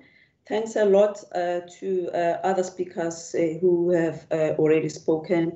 Special welcome and also appreciation from the from Honorable Khan, International Chairperson for Commonwealth Parliamentarians, Honorable Gimba from the Africa region, and also all other speakers um, uh, uh, that I need to acknowledge, including my colleague from the Social De uh, Development. Speaker, uh, Deputy Speaker, as you were um, introducing my CV, I realized that uh, I've got an option to use my other cap as a former academic where I can just make this session academic. And then we ended up being, uh, being lectured or I can use my other cap as an activist, uh, a person who has been fighting, uh, um, I mean, for the issues of women empowerment, uh, where not only uh, in, in the Western Cape or in South Africa, but in the whole of Africa, uh, international, I've got that option. Or the last option is about where I wear my cap as a um, minister, uh, provincial minister of health and share some of the, um, the practices. So Speaker, allow me to deviate uh, from my paper, which was, um, uh, I've put some input, just to talk because I won't be able to come back in the breakaway sessions. But I don't want to leave some of the important aspects within it. So I'm standing here as a legislator. So how we can be able to influence policy and also in terms of how to influence also the legislation across. Because uh, as I indicated, we have been protesting, trying to come up with the solutions. We have been writing papers about these. There are papers there, and also thanks um, uh, to some people who pave way, especially uh, in the UN and other contributions. We have been sponsoring some of these um, aside kind of the debates within the UN. So today, now, Speaker, I want to wear my cap as a legislator, but using health part of my experience going forward. I acknowledge and uh, the placing the dignity and innate rights of women in the spotlight. Uh, it comes at a crucial time when we are grappling and juggling with a pandemic and also a pandemic of the COVID, in addition to some of the pandemics that we used to have which are still with us, which is the gender-based violence. And I'm excited to see sub-themes related to the gender gap parity, uh, women in science, technology, engineering, and also mathematics, uh, pursuing those kind of the areas, probably also must add climate change, and also about the gender responsive budgeting. These are very crucial. Now, let me indicate in terms of why these are the crucial from the perspective of the health using the current situation of the COVID pandemic, which is affecting the whole world. For us, we learned a lesson that this is not only about the lives as health that we need uh, to save, but also the livelihoods. Why, Deputy Speaker? It's because we do know that what we see as a health problem, not only in regard to the COVID, but it's about the upstream factors where the social determinants of health that are beyond um, being managed by health, but also need to be managed elsewhere. That means the whole of society, the whole of government, the whole of the departments. So you cannot be able to create binaries between um, the, the lives and livelihoods, which is the health, and also about the economy. So it talks to, when we talk about uh, one aspect uh, of the sub-theme, gender responsive budgeting, it makes us to realize, Speaker, that currently now, whilst our budgeting has been more skewed in regard to some uh, fewer of the diseases like HIV AIDS at the time when it started in the 80s, 90s, it made not only South Africa, not only Western Cape, but countries throughout the world, specifically in African context and also in the parts of the Asia, where HIV AIDS has had a huge impact, to use uh, uh, budgeting in regard to prioritizing some of those in regard to the risk factors. So going forward, Speaker, in the breakaway groups, let's also use the COVID as part of the budget, the responsive gender responsive budgeting, so that it filters in because COVID, the face of the COVID is the socio-economic ills. It's no longer about a health problem. We have seen how COVID has impacted on women. Not only are the ones who are mostly infected, but also in regard on how the social, socioeconomic ills, um, in terms of the challenges related to the poverty, inequality, and also unemployment. We have seen that how the most jobs that have been at risk, that have been lost, and the livelihoods that have been lost are the ones where we find that it's mostly the women who are participating. We cannot uh, I mean, talk enough about, because it's obvious it's there, about how the health and the wealth become twins. When you have no access to food, and not even talk about the nutritious food, because that one is a luxury, to food, we do know how it impacts on your health. When you have been a millionaire or you have had access, and then you ended up losing the businesses or even, even losing the jobs, whilst previously you had, in short, in short, you had medical aid to access the private, you end up not having any other options. It means that you will end up joining and clogging the health system. It does impact on us. So what COVID shows us that it impacts on you on whatever social class or whatever race, but specifically mostly around the women because not only about the jobs uh, in regard to the women's space, but also in regard to women as carers. 10 days isolation or quarantine, where it's, it's where you find that um, in most instances that these people have to be cared for by women, uh, cared for at home. The majority of the people who have to do that are the women. So we're talking about women who might not necessarily be positive, but as a head of household, but because also in terms of the gender constructive aspect is that uh, by default position, they are the ones who have to be caring for the female uh, uh, family members, be it your own parents, be it your own family, biological family, plus also your in-laws, uh, the sister of the sister, my sister-in-law, even the neighbors. It meant that you ended up even uh, putting yourself at risk because you'll be caring about other people who are positive and yet who are not positive. Also, Speaker, in regard to also to the to this part of it, uh, um, in regard to the, the gender gap parity in regard to health, in as much as that in health, by default, anywhere, I'm talking now as an employer, uh, as a sector, you find that the majority of the healthcare professionals are women. Um, the nurses and the doctors, even in the Western Cape, actually in this department, we have about almost 68%. It's a female-led, including myself, who's a female. So it's a female-led kind of, but you must just zoom in regard um, to the different professional categories. For example, uh, the majority of the healthcare professionals are nurses, which are actually uh, mostly women. But look in terms of how the system, which has always been there, and it's, it's my profession, by the way, we'll find that the issue of the um, not only the resources, not only the working conditions, but also in regard to the salaries and the payment, where they've always been left behind. Yet it takes about four years not only to educate at the university, plus also even the training of the, for example, of the nurses.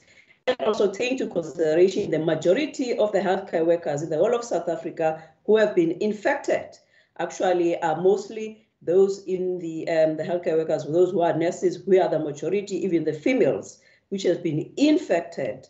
But having said, uh, speak about the gender gap, but I also want to talk about the STEM. Yes, indeed, as I indicated that they, we have had uh, many of those who have been tapping the space as the women.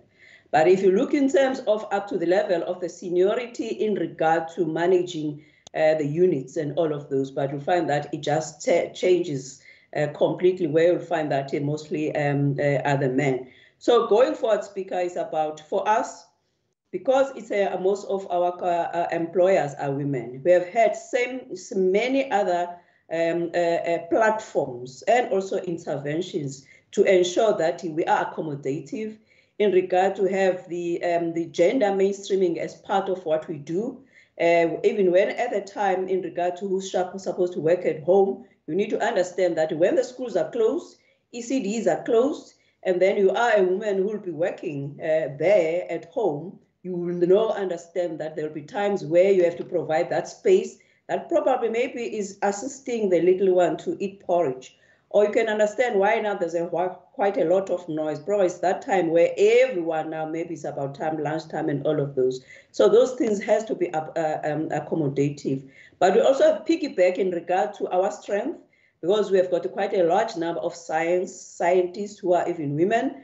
Um, hence, we have used so much of the evidence. Actually, um, in South Africa, the people who have been the trendsetters in regard to the vaccination program, when we started to vaccinate healthcare workers, uh, were the professors, um, Professor Glenda Gray, and also in the context of South Africa, uh, Professor um, uh, um, Linda-Gail, uh, who have been pioneering as women, uh, as, a, as a scientists on their own right. So as we have been able to use evidence and also to use data to lead us. And also currently now we are on the third wave. We're picking on those programs. Lastly, Speaker, I want to speak about the vaccination program, in, uh, vaccination in regard to not leaving anyone behind. Because for us, the notion of not leaving anyone behind, it was to ensure that we don't leave those vulnerable, and most of them are the women. Hence, you'll find that in some cases, we will have pop-up buses of the vaccination site that are outside the mainstream so that we could be able to accommodate um, those women who are mostly like in the farming communities or in the informal settlements. And also to use um, that opportunity when women are shopping because at the end of the month or they're having their social grants, or child social grants and pension payouts and all of those, you'll know that they'll be buying food at the grocery store. So instead of now having the vaccination sites outside uh, where women could be able to access them, we bring them to the shopping malls so that they could be able uh, to have such access. So, Deputy Speaker, in closing, I want to indicate that with health, in as much as that in the health system, the majority are the women, and that it makes the, us to benefit gender wise because you have that gender equality balancing that there are many women. And also economy wise, because women are mostly the head of the households. Therefore, when they are employed, which is guaranteed not only healthcare professionals, but even the lower levels, such as the community health workers, where you'll find that they are still there, some of them not even have been exposed to the higher education. We're the ones who are the high employer sector in that regard. Similar with the cleaning, uh, with the, all other categories of the healthcare workers in administratively that we acknowledge. However, as health, we have to absorb as many of the inequalities, as many of the poverty, as many of the other challenges related to the poverty within our system. So whilst other sectors might be able to turn a blind eye or choose who should respond to, but when everything fails, everything comes to help. Hence for us, we do contribute on the gender balancing in regard to that space, just like we contribute in regard to the women accessing science, technology, and all of those. However, it does have a psychological impact to us as healthcare workers, as women, plus also as healthcare workers, who majority are women. Currently with the COVID, of which the face of the COVID um, is no longer now only about health problem, but is a woman who's unemployed, who is hungry, who also has got the inequalities. As we know, lastly, with the inequalities that contribute, uh, inequalities of gender contribute to gender-based violence. Inequalities related to the class, contribute to the crime that is related to, to uh, housebreaking and all of those that may, women end up being impacted. Inequalities related to the age, that's when we see our children being raped uh, by their fathers, by their uncles and so forth. And all of this come to us, uh, to women. So thank you very much for the opportunity. Um, I wish every luck um, and also um, everything to go smoothly. And Deputy Speaker, lastly, I wouldn't want this to end because I'm saying that I'm wearing my cap as a legislator. We want us to see this happening, whether next week where we could be able to say, uh, all of us in this legislature, specifically in the Western Cape, to say that we have done it, We've gone beyond talk shopping, but now that's what we're submitting to do it for South Africa as well. Thank you very much. Thank you Thank very you much, very Mr. Mbombo. I'd like to call on um, Honourable Member Ayanda Bans to give the vote of thanks to our two ministers. Thank you, Deputy Speaker, and greetings to you, greetings to everyone that can hear me, the phenomenal woman. I think I've been given the most easy task here uh, to thank one of my own, in fact, two of my own. When I was thinking what I was going to say next, I realized that actually this is the easy one because it's of what of our own. Um, matters that they raised even today are matters that we normally speak to about and address. Um, as Minister Mbombo said at the last latter part that the only wish is for us to move forward and not be the end of it today. How do we move forward? They didn't drop the ball. I must say thank you both uh, MECs that are present here today. At a short space of notice, I must say you've done a good job. You've addressed issues. Uniquely, I would always relate to them in different ways. For example, Minister Mbombo disappointed me today. I was expecting to hear about the Auntie Sarah, uh, what Auntie Sarah is doing in the rural areas. That's how we related to each other. I didn't hear anything about Auntie Sarah today, but I think I have only two minutes. But uh, for every woman to know Auntie Sarah in our Western Cape Parliament is that rural woman that we are talking about. And today, Minister Mbombo didn't say anything about Auntie Sarah. My wish is for us to take the Auntie Sarah and the, uh, the Auntie Shahida from somewhere in the Cape Flats and have starting to have conversations. How do we integrate them? Minister Fernandez on the other side, one thing that I know that I didn't read about her from the biography is the love she had for children. I didn't see anything written about that. Like I said, the way we relate to each other in, in different ways. One thing I also know about her is that whenever you would call, she would make sure any woman headed household where there's a female and she's a single parent, there must be food, there must be something to eat for children.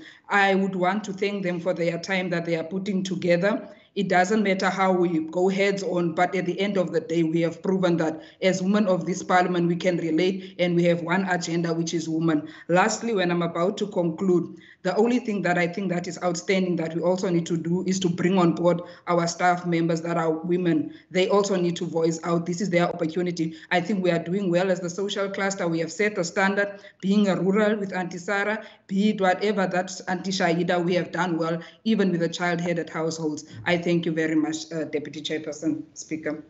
Thank you very much, Honourable Bans. Thank you to our ministers. And I'd also like to acknowledge um, Minister Anroux Marais, who's the Minister of, um, of Arts and Culture, as well as Minister Debbie Schäfer, who'll be joining us on the breakaway, who is the Minister of Education. So I'm really thank you to the executive who make time out of their incredibly busy schedule to be able to participate. We really, really appreciate it. Thank you. Thank you very much.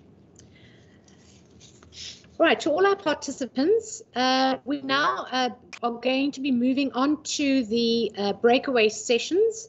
If I could just give you a little bit of, of information, all participants that have registered their interest in respect of their breakaway sessions, the support officials will initiate the process and all participants will be automatically moved. So you won't have to do anything. You'll be automatically moved to your respective groups. This may take a few seconds to complete, so just wait and uh, that, that should happen quite quickly.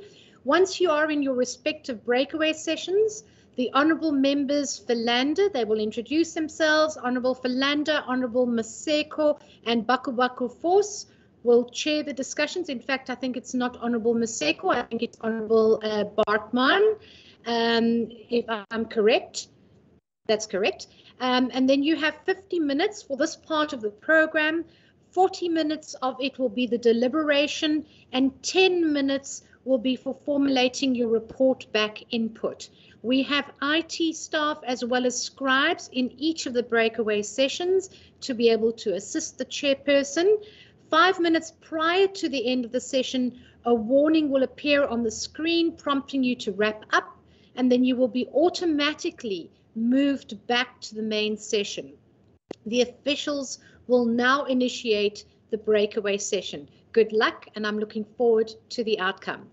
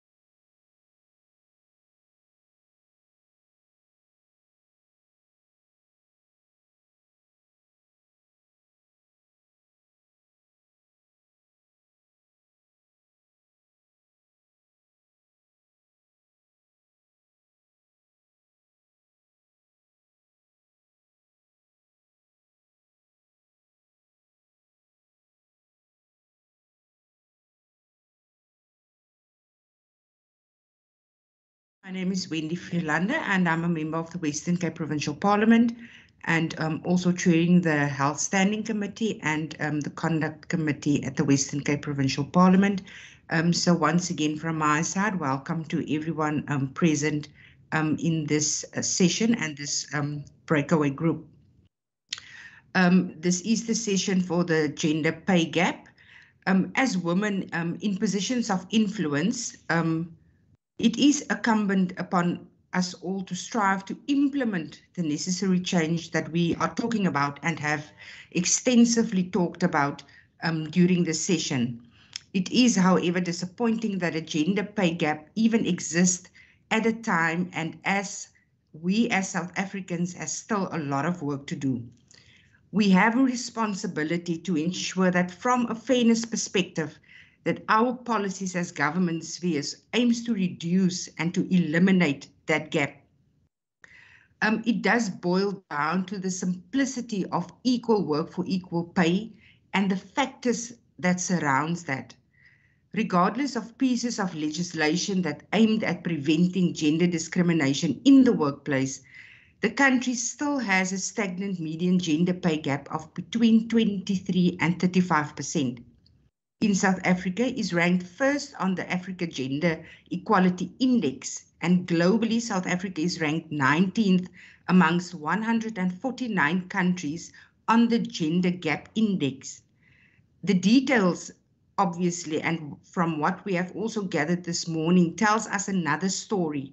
And the true reflection is that South African women's economic empowerment is indeed very troubling. In South Africa, around 38% of households are headed by women female-headed households are approximately 40% poorer than those that are headed by men. Indeed, this is ridiculous, it's disrespectful, and just plain unacceptable. As women with influence, it is upon us to ensure that the rights of women everywhere are respected, that it's protected, that the rights of women are valued, and that it is realized. I am calling on you as participants this morning that during these deliberations today to help plant the seed of change for our adolescent girls in South Africa. As mentioned by the presiding officer in our session of 40 minutes, um, the discussion and the deliberations um, that we will have, participants will have the opportunity um, to deliberate and to conclude on three main parts of this um, gender um, or rather gap in um, remuneration. First of all, the extent of the gender pay gap and the impact that it has on women. Now, roughly dividing our 40 minutes, we will afford um, 30 minutes to that specific subject, 13 minutes. Um, secondly, the main um, contributing factors to the gender pay gap as well as um, the third factor, which, um, which is ways in which the gender pay gap can be addressed. After which then we will spend 10 minutes on compiling our final report in order to provide our feedback. Um, the extent um, of the gender pay gap, I really do um, believe that participants has been provided with the necessary information. So I do not wish to take up too much time um, in the briefing as such. Um, so can I perhaps just have an indication if members wish me to take you through the entire briefing or can I um, trust that you have uh, familiarized yourself and we can immediately go over to deliberations. Can I perhaps just have an indication of that? Honorable Wenger. Thank you, Chair. Um, perhaps we could just do a high-level summary uh, just to get us off on the right foot. Thank you very much. We can indeed do so. Just give me a minute. There we go. So the extent of the gender pay gap and the impact that it has on women speaks to um, how is it that we measure gender um, inequality. So the gender pay gap is a subset theme of the broader theme of gender inequality. And as such, the report firstly discusses briefly the World Economic Forum's criteria as to how it is determined um, in respect of the extent of gender inequality of countries and then obviously by extension of the world. But as we will be speaking specifically to South Africa. Um, the WEF Global Gender Gap Framework makes also makes use of four fundamental categories, which is referred to indexes to measure gender inequality. And these four are women economic participation and opportunity. It speaks to education attainment. It speaks to health and survival. And it speaks to political empowerment. The World Economic Forum tracks these tracks these indexes and gauges progress towards closing the gender-based gaps over time to benchmark inequality and provide comparisons across regions and across countries. In measuring these gender pay gaps, it is broadly defined as the difference in the average wages that is paid to women compared to wages paid to men and various measures are used to determine and to calculate the extent of the gender pay gap. Africa's um, gender pay gap speaks to, um, based on the ILO's 2018 and 2019 estimates, that indicates that women in South Africa were on average paid approximately 30% less than men, while South African median gender pay gap is estimated between 23 and 35%, as mentioned earlier on. The public sector has also contributed in narrowing South Africa's gender pay gap, with more women being employed in the public sector than men, as well as above average wage growth within the sector. When one speaks to the impact that the gender pay gap has, female-headed households are approximately 40% poorer, as also mentioned, than those that are headed by men, but bear the financial burden of supporting more children and extended family members than male-headed households. Women at the top level of the wage distribution experience the grass, or rather the glass ceiling effect, a reference to the barriers that prevent highly qualified women from advancing to senior positions and the top ranks of management within organizations. And what are the main contributing factors to the gender pay gap? It is documented as a lack of change in industry and um, occupation composition, unpaid care work and domestic work, as was also highlighted earlier on by one of our speakers, the characteristic and the culture of the corporate sector, unequal pay for work of equal value, and the introduction of the national, or rather the national minimum wage. And how should one be, or rather go about in addressing the gender pay gap? South Africa has a progressive legislative framework that supports equal pay for equal work, encapsulated and embodied within our Employment Equity Act. A current non-legislative intervention is, was by the King for Report on Good Governance, a corporate governance framework which provides voluntary guidelines for promoting fair remuneration and transparency within corporate governance. There's also um, colleagues recommended mechanisms to improve the effectiveness of the mandatory legislative and the voluntary non-legislative interventions, such as the refinement of the Employment Equity Act. Um, robustness.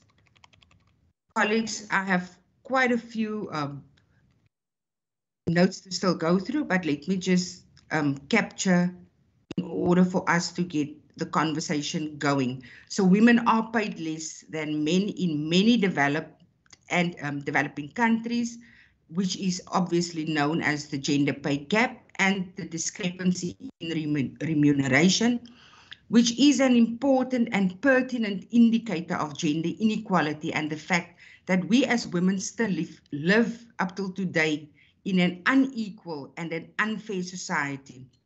The fundamental issue of equal remuneration that should exist for both women and for men. The discussion will stem obviously then from equal remuneration and the, ex the extent of South Africa's um, gender pay gap and how women are impacted because of that factor. What are the main contributing factors, how this problem can be addressed, and who should address this problem? As mentioned, our, we will limit our discussion to what is relevant to us at this point in time. So colleagues, um, our, in based on our theme, placing the dignity and innate rights of women in the spotlight, the report is to discuss the gender pay gap um, in, in mainly three parts, um, which is the extent of which the gender pay gap and the impact that it has on women today also the main contributing factors um, to gender pay, what contributes to that the current situation um, still exists, and how do we address um, that challenge of gender pay gap. I hope that this brief introduction to the subject could have provided with you, could have provided you um, with the necessary uh, background. I trust that you find that in order and that we can then immediately uh, go over and proceed with our deliberations in this regard. Can I ask that um, participants, just by a show of hand, indicate um, whether they want to speak to this um, matter I see just one moment. Ms. Um, you must just assist me if I, I hope I pronounce your um, surname correctly. Is it um, Germanos? It's Germanos, so it's not too far off. Germanos. Yeah. My apologies. Thank, thank you very much, Honourable Speaker. Um, I, I, actually found um, the findings in this research paper quite interesting, and I think um, the most interesting of the findings is that the top level of the wage distribution, um, that gap has continued to widen in South Africa. So in other words, women who want to go into senior positions or management positions, there are less of them there. Um, I didn't find that surprising, and I'll explain why. And I actually specifically want to speak to the one of the factors that were raised for this um, pay discrepancy, which is the characteristic and culture of the corporate sector, which I think plays a huge role um, in the reason why this gap continues to widen. And I'll speak from my perspective as a legal professional.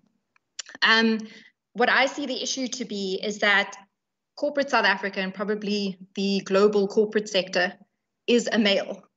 And probably more specifically, it's a, it's a white man. So that's its persona and that's its character.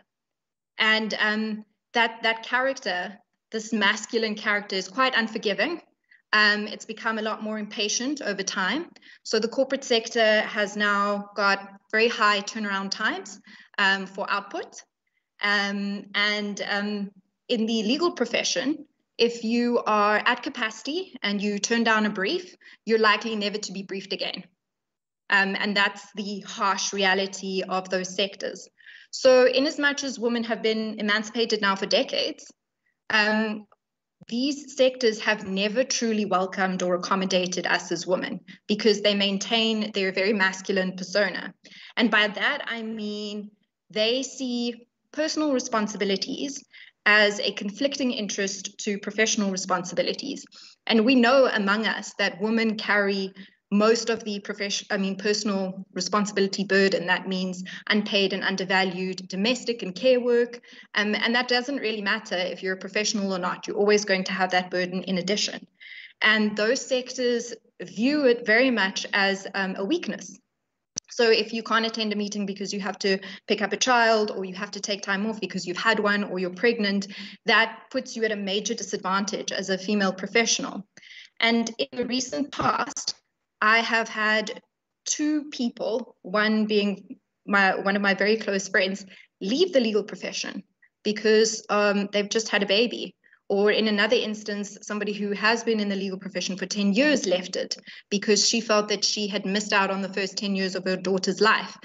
And in this, so what I'm trying to say is, in as much as there are no visible barriers to women in the corporate sector, we are inadvertently excluded because we're not accommodated. And for as long as that continues, for as long as there is no um, very targeted policies and solutions to change the perception around personal responsibilities in the corporate sector, we will continue to have this widening gap in uh, the top level wage distribution. And for as long as the corporate sector doesn't see personal responsibilities as a way of um, optimizing your professional performance. If you take care of your personal life, your professional life is then likely to also, um, you, you're likely to improve at your, or rather perform at your best. Um, for as long as that perception doesn't change, I think we'll continue to have this widening gap. And that's that's just my take. Thank you for your valuable input. I recognize Honorable Wenger. Thank you, Chair. Uh, just want to get the right background on here. There we go. Right. Thank you very much. Um, um, I agree with uh, the previous speaker. There are um, these invisible barriers that create the, the wage gap.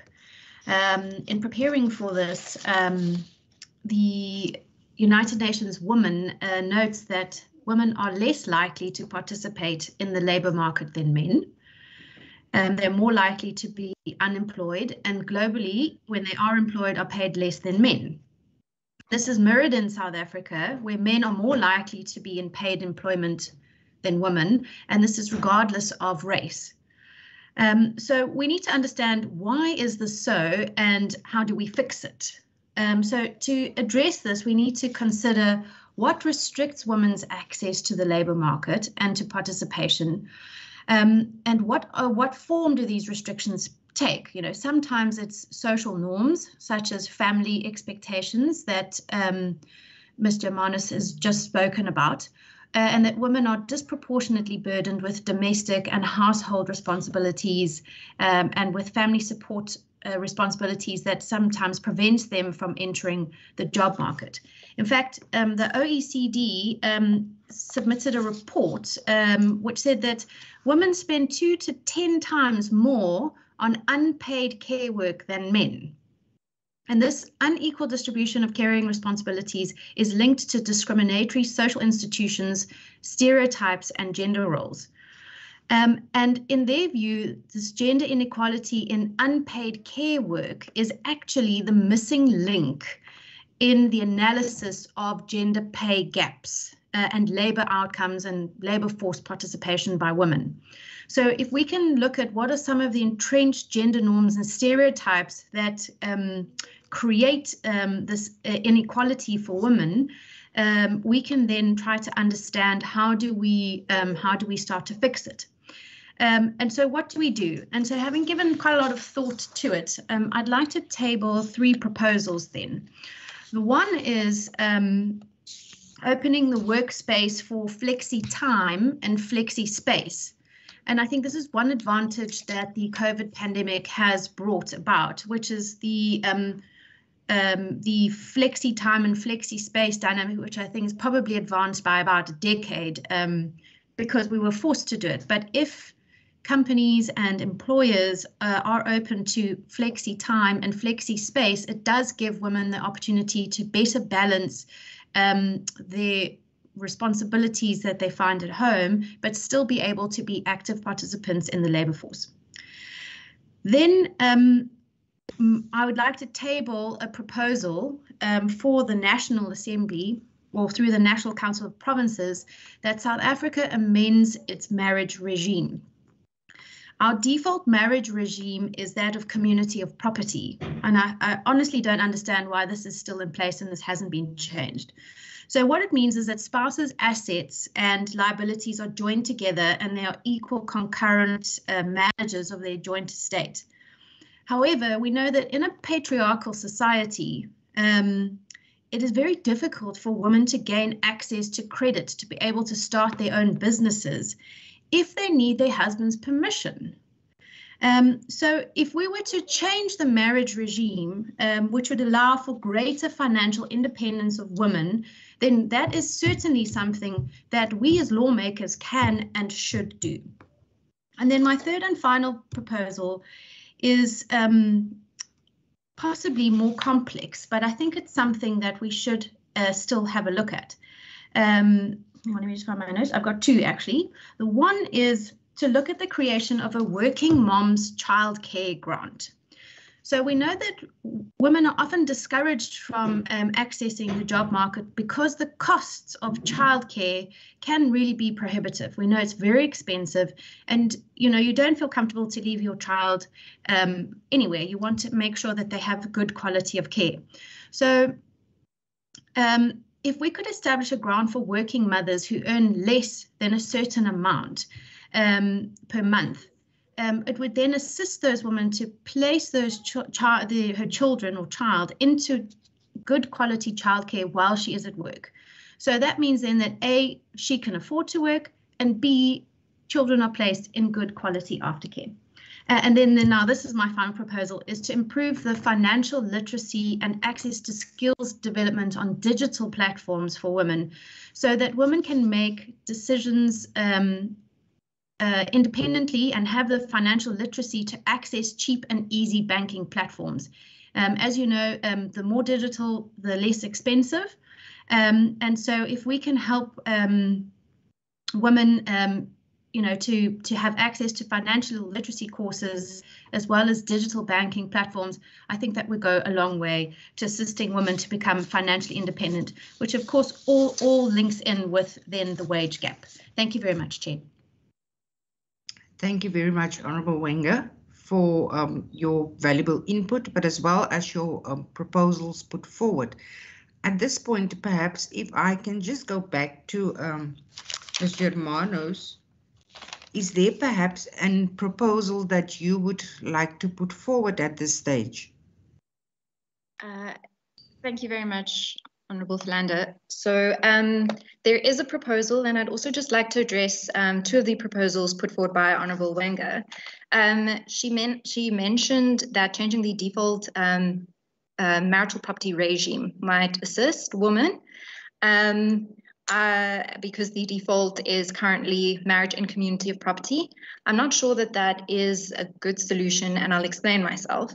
Um, there's a double-edged sword with that. Uh, what we've um, I was previously a constitutional court law clerk, um, and I sat in on a matter which has um, now currently been handed down. It's Sithole versus Sithole. Um, this uh, case actually dealt with the fact that in the old um, Black Marriages Act, Black women um, were automatic, automatically married out of community of property. And this caused quite a big issue to today because when poor women split from their husbands, they're often left with nothing because they are married out of community of property. Um, and it offers them actually quite a lot less protection. Um, a way out of obviously being married in community of property, if, for example, you want to get credit without having to also get the permission or added signature of your husband, is to voluntarily elect to be married in a different marital regime. Um, so I'm not sure that changing the default um, marital regime is necessarily the answer. Um, and then with the flexi uh, working hours or flexi space, um, I've seen in COVID, um, and I can speak for myself, that the flexi um, hours or space are not as flexi as we think they are. The work from home um, has actually, in my experience, resulted in a lot of um, crossed barriers. So there's no longer a line between work and professional life. And I think that has, in some cases, made it a bit harder for professional women who are working at home and now have their children who they will naturally attend to at any time during the day because they're at home.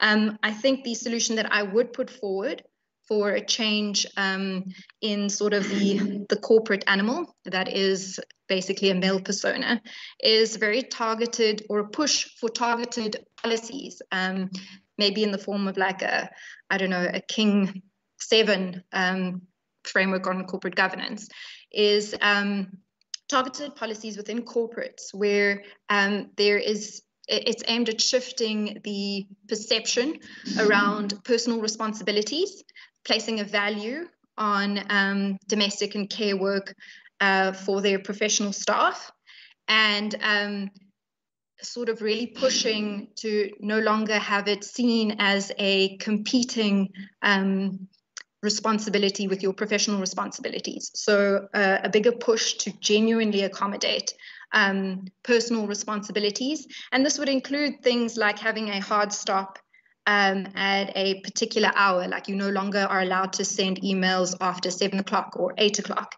In the legal profession, you send emails around the clock, and the later you send it, um, sort of into the night and into the early hours of the morning, the more it's understood that you're a diligent, hardworking professional. And I think that culture has to shift. And the only way you probably could do that is by having a hard stop um, at a particular time and um, sort of changing the perception that if you email after the after hours you you're a hard worker but more as um, sort of seeing it as you know somebody who's not properly taking care of their personal responsibilities which should now rather be frowned upon in the corporate space as opposed to lauded and um, that is a proposal that I would put forward so thank you for giving me that space Thank you so much. Much appreciated.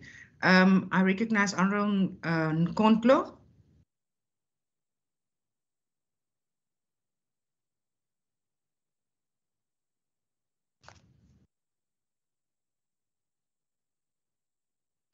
Honorable Nkondlo. Yes, thank you. Um, oh, apologies, uh, uh, Chair. No Issues problem. Issues of eldership and technology. uh, uh, thank you. Um, I must say uh, this is a very interesting uh, uh, uh, conversation, and indeed. Um, the, the, the research helps us to just understand the extent of this problem. The, the, the, the, only areas I, one perhaps would have to take it further and try and gain more uh, uh, in-depth uh, data on, particularly is in which sectors of the economy uh, do we still experience um, uh, uh, this gender pay gap? because I think for me, um, also from what was said by our speakers, it's very difficult to change what you cannot see.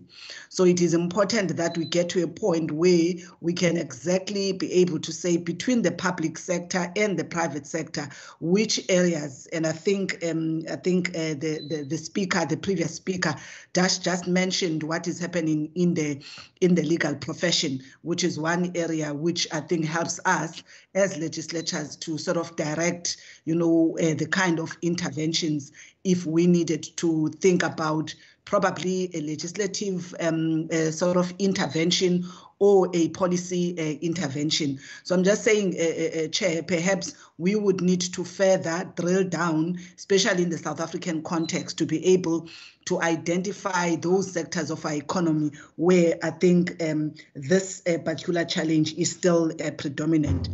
Also, I think in one of the pages, uh, it, it does mention, I think, what we see in as far as the discrepancy in remuneration as one as one area where I think uh, one of the interventions uh, being uh, raised there is actually affecting the, the, the, minimum wage to narrow the gender pay gap, uh, gender pay gap, particularly at the bottom level um, uh, of, of, of, of, the, of the economy. So I think it's, it's one of those things that are already there. And then it means we as legislators, we need then, you know, through this um, uh, uh, women parliament to consider how can we play our role to sort of advocate for such in, in, in our own spaces so that at least from today onwards into the next um, um, uh, women parliament, we can start seeing whether there is progress, you know, from something and information that has been brought to the fore through research wherein we can be able to sort of um, uh, make an impact. So for me, I think these are some of the considerations that we, we, we, we need to look at.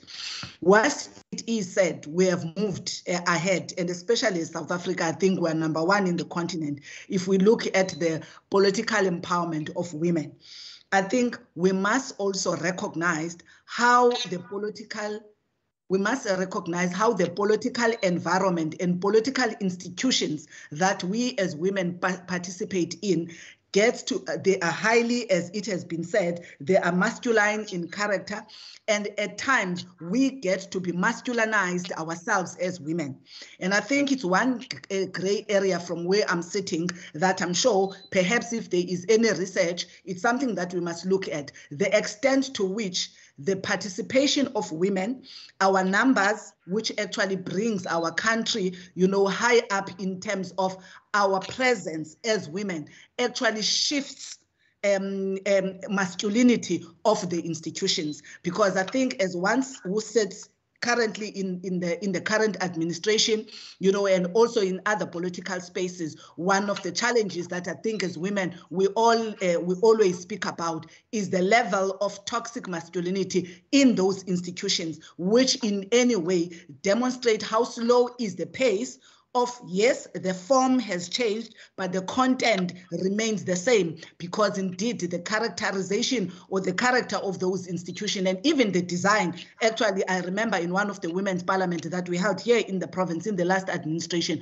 one was um, considering how even the design of the sitting of the parliaments that we sit in are not necessarily meant for us as women. You know, they have a particular male that would have been able to sit in, if you look at the spaces in between. I'm just making that very simple uh, uh, example. So I'm just saying, I think it's one area that we need to consider. And as I try and make my uh, submissions, uh, uh, uh Honorable Chair of the of this session, I would like one, if we could actually, as a Women's Parliament, especially from the NA right to ourselves in all the different legislatures, perhaps it's important to consider um, a yearly uh, focus on these uh, employment equity reports so that on one area that we must be interested in is exactly the extent to which the gender pay gap is shifting whether it's actually there is some kind of a positive change in that regard. So I would think it's one of the things that we are supposed to monitor because this particular report of the Employment Equity Commissions must be able uh, to be requested by ourselves in our women's parliament and then we are able to demonstrate whether there is progress or lack thereof so that if there isn't any progress, we can then be able to engage, you know, the relevant departments such as the Department of Labor, you know, and also engagements with the private sector where possible. The second proposal, Chair, in that in that regard for me is the extent to which, as a resolution, we can then request the National Department of Women, the Department of Trade and Industry, and the Department of Labor and Employment to sort of uh, consider an engagement both with the private sector and professional bodies around this particular issue of the gender pay, uh, uh, gender pay, gap, you know, in those uh, various uh, industries and professional bodies, and be able to sort of um, uh, advocate and promote, you know, some kind of of um, proposals, you know, from the from the industry on how they would commit, you know, as part of their transformation agenda and part of their corporate governance requirements actually to sort of work on these areas where indeed obviously research would dictate which um, a particular sector is experiencing you know uh, this gender pay gap so i think for me those are the two proposals that i would like to to, to place uh, uh, uh for, for for this uh, uh, parliament to consider. Thank you chairperson. I thank you very much, um, Honourable Nkondlo, for your valuable input and the two um, proposals provided. I now recognize Ms. Arifa Parker.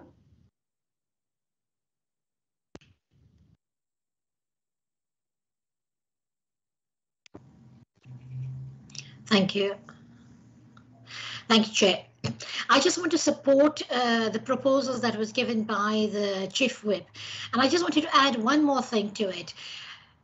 We, coming from the business side of things, I would like to encourage corporates actually, in some way we must add this, eh, to create if they if they we've got talented women out there and many and I've been seeing it as part of an organization that many of these talented women are leaving corporates and big companies and starting them their own. This is fine, but the corporates are missing on something very valuable over here.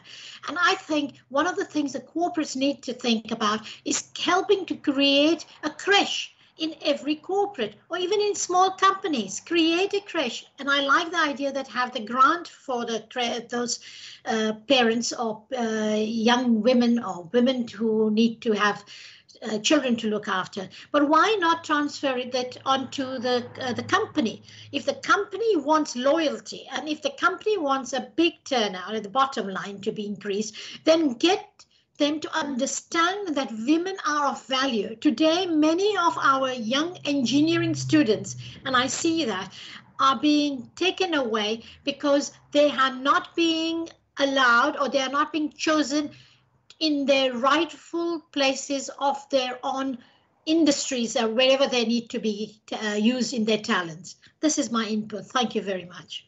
Thank you so much for your valuable input, um, Ms. Parker. Um, Honorable Wenger, I see your hand. Is that um, second bite to the cherry, or is there something you wanted um, to alert um, us to at this point? Um, no, it was. I just wanted to just expand on uh, my proposal about the marriage regime um, when the opportunity arises. Will do. Thank you very much, Honorable Wenger. Honorable Barnes. Thank you very much, Chairperson. Chairperson, from the information that was submitted to us, I tried to look at the data versus uh, policy. What are we having? And quite actually, what we find these days, mostly it's us women that are the reason that we find ourselves being remunerated so much under men because in many cases you'll find us being in majority, majority or even in senior position. But then at the end of the day we don't rule within our own favor and it becomes a problem. So i think as women we should start having conversations with ourselves regarding to how are we going to deal with the matter. Second to that um, I've tried also to find policy. What is policy actually saying? uh, with regards to the matter at hand. And quite honestly, with the documents that I've read, it's a bit subtle. There's no sharp, there's no sharp uh, um, um, um, um, raising of it, saying this is how we are going to address it. I think it should start somewhere, and the place to start is where we are. This parliament, this platform, we should start having conversations on how are we influencing the policy to suit ourselves as women, and let us be an example to the rest of the world. Um, my last one would be, except for policy, at times, even when we do have the policy, that is reality. The policy is there, it's written, it doesn't get to practice now. I would like to make a recommendation that says, as much as we have policies, we should also put in systems in place that will monitor and evaluate, like the same way what we are doing to equity plans and other plans that we are having in the House. Let's have uh, monitoring and evaluation uh, um, um, um, policies to take care of, of the issues of us in our remuneration because honestly, we are doing hard work as women and I, I, I strongly feel that we are the, our own reason for the setback that we are facing. Thank you very much, Chair. Thank you so much, um, Member Barnes. Your valuable input or your input is valued. I am now going to afford the opportunity to Minister Fernandez and then Honorable Wenger. I will afford you the opportunity to just um, provide a more extent to your um, one of your resolutions. Minister Fernandez. Thank you, um, Honourable Chairperson. My input links in with that of Ms. Arifa Parker. And um, there are ways we can address the gap that are not necessarily financial, but you might have picked up from my presentation, it's a focus on care. And in my role as the Speaker of Parliament in the fifth term, I had the opportunity to visit three legislatures in Australia. And what struck me at one of the legislatures was the fact that they had a, an ECD facility on board for all members where the husbands or the spouses could attend to the babies whilst their wives were in parliament. They had um, they had facilities for women to express milk and all of these, you know, what we, we would think is um, it's something that's out there. It is actually something that we can bring home and start with in our very own parliament because one of the issues are that of women MPs who go off and have babies and you know how do they return to the workplace worrying about the young child at home and also the fact that many women have to travel distances to get to and from their place of work. So I support the idea, and I know that there are cost constraints, but it is a key aspect to addressing the gap and, and reducing that masculinity of Parliament, but actually making it a place that is amenable to all. So that's my input, Chair. Thank you. Thank you so much, Minister Fernandez. Much appreciated. We just need to be uh, mindful of time. I think the entire session um, should be concluded at 12.45. So we also just need to um, compile our report and uh, resolutions accordingly. Honourable Wenger. Thank you, Honourable Philander. Um, sorry, I um, I spoke very um, sort of high level and um, you know on the surface for these proposals that obviously you know have quite a lot more behind them. But just to expand um, on the proposal to reform the marriage regime and in light of the comments by uh, Mr. Monis, um, you know, the default marriage regime is that of community of property, but of course the only options aren't in or out of community of property. There are fair um, marriage regimes such as the accrual system, which um, then allows for spouses, if they um, separate, to share equally any um, wealth that was accumulated during their marriage. The problem with it is that it requires uh, legal assistance and fees for lodging um, the antenuptial contracts and so on, which are all things that are then barriers to access a fairer marriage regime. And so what I'm proposing is that we look at what these marriage regimes are and how they disproportionately affect women and make the necessary legal changes so that we can um, have a system in which women can make independent financial choices in spite of how they get married and also still have access to a fair way in which um, assets are divided in the case in the case of divorce. So um, you know we obviously don't have all the answers now, but it's certainly something that can be done in the in the in the shorter term with the requisite amount of research and canvassing. Thank you. Thank you very much, um, Honourable Wenger. Um, I just need to make sure, Samir, can you kind of just indicate um, the time that we still have to our disposal?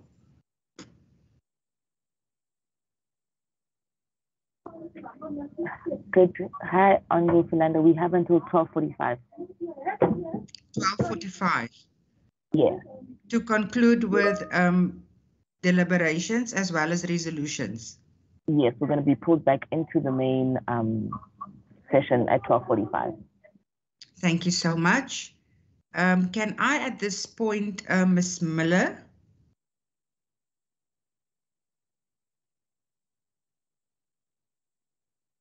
Yes, ma'am. Yes, you have been scribing for us. Um, are you flagging um, the proposed resolutions? Yes, ma'am. Thank you so much. Quite a bit, but yes.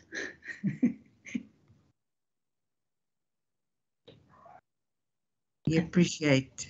Thank yes, you. I think so we need to get to the third point. Because we're sort of speaking all over.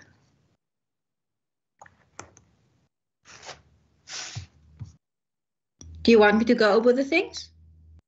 Um, are you putting it on the screen for us or are you just um, speaking to it?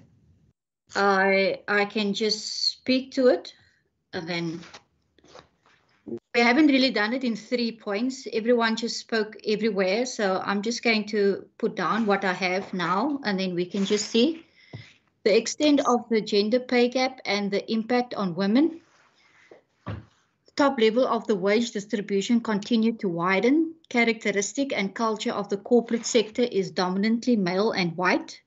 Masculine persona and character, very high turnaround times, example in the legal profession, inadvertently excluded, does not see personal responsibility.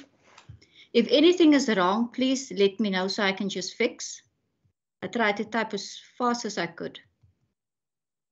Then the one lady said to that, having a hard stop, no longer allowed to send emails after hours or stop at a certain time invisible barriers that increase the wage gap between women are less likely. What restricts women access to the labor market? They are disproportionately burdened with family responsibilities. Stereotypes that cause inequality for women. Opening the workspace for flexi time and flexi space. Then we set the NCOP for South Africa to amend its marriage regime because women had it difficult to get credit. Assets are divided when women get divorced. Creation, working, mom child care grant. Women that earn less than a certain amount should get then a child grant. Improve financial literacy, cheap and easy banking platforms, digital plat banking platforms was to that one. Sectors of the economy, do we still experience the sectors of the economy still experience a pay gap between the public sector and the private sector. Type of interventions and policies to be implemented. That was the member that said we have to see the gap between the public sector and the private sector.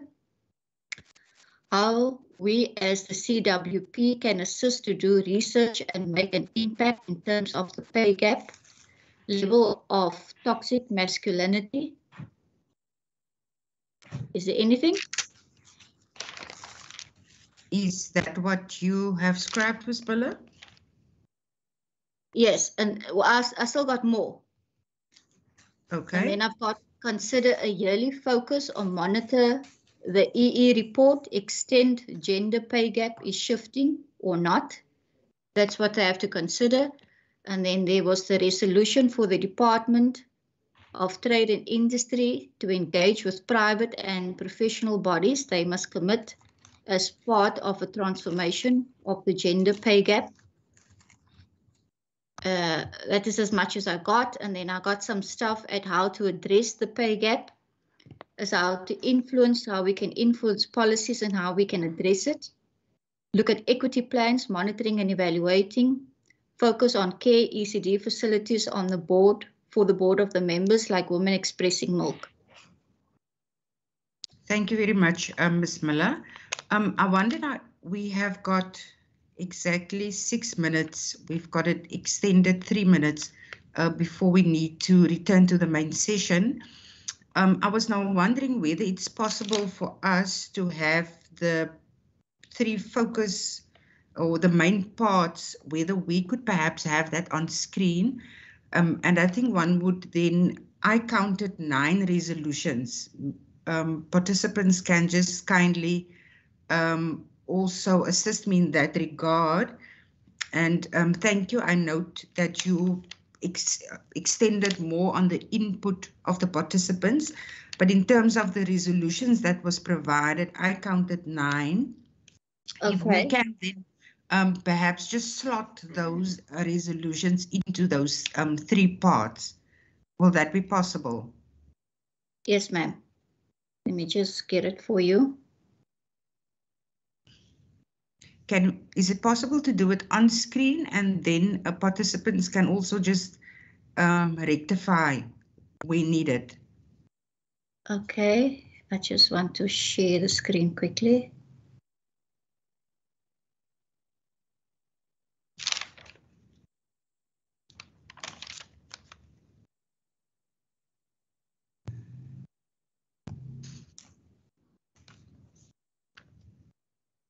I think this thing wants to open. Come on, come here. Yolanda, we do have a little bit of more time, and also because I think until 12:48, and because we're the main group, um, people are going to walk, come back into our group, so we'll see them when they join us. Until 12:48.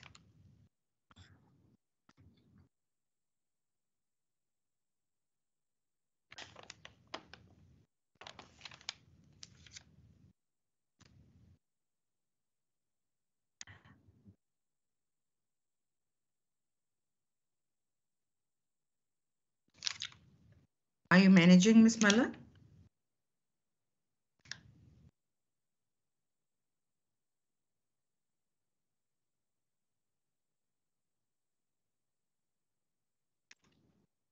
Yes, I'm just trying to get it to open to share. It's not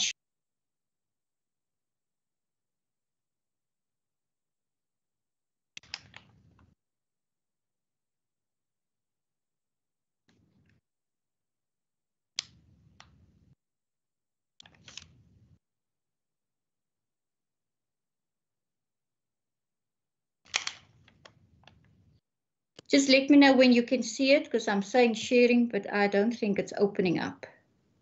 Can you see I'm it on your side? Um, no, unfortunately not. Um, Oh, I'm not okay. sure. we- Okay, I'm gonna see if I can email it to you then. And then you can maybe Oh. open from your side.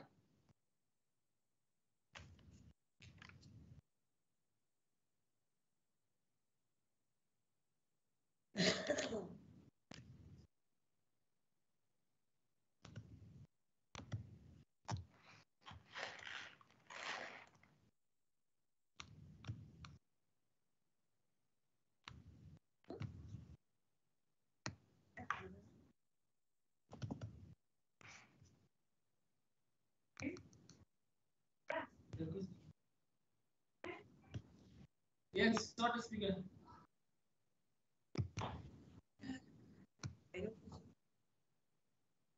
Um, is it sent? Yes, ma'am.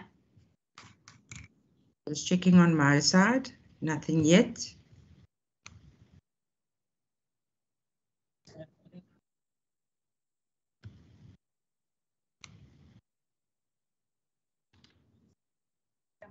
Okay. Um, we've just been Got it? reminded we only, have two minutes left, so I don't think we'll be able to to do the slotting into those three, which I just see the email now.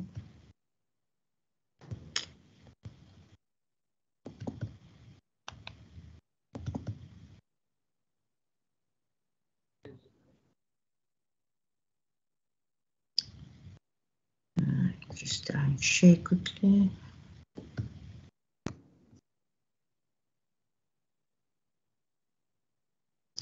No, technology.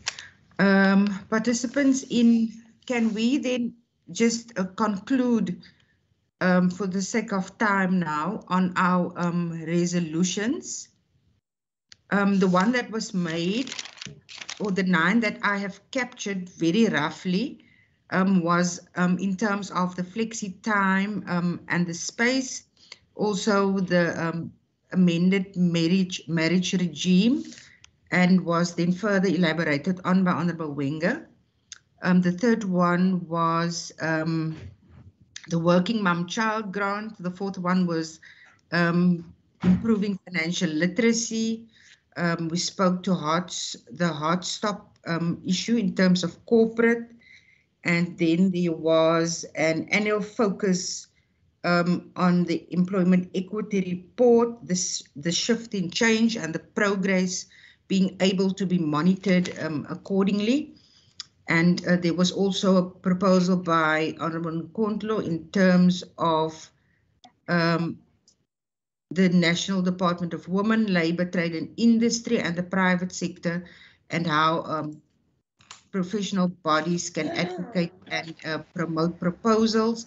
Uh, Ms. Parker spoke to um, how corporate can assist in providing those spaces um, as creches and then how Ms. Member Barnes in terms of policies in general, creating those systems to monitor and evaluate. Um, can we conclude on those nine participants? Or is there any su- suggestion from your side?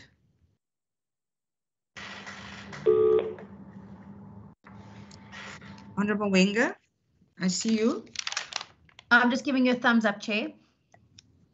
Thank you. Are we happy that we then um, put this forward as the gender pay gap proposals? We're comfortable, Chair. Thank you very much, everyone. I do get an indication now it's time for us uh, to return to the main session. Thank you so much for your participation and um, for your valuable input. Samir, will we be automatically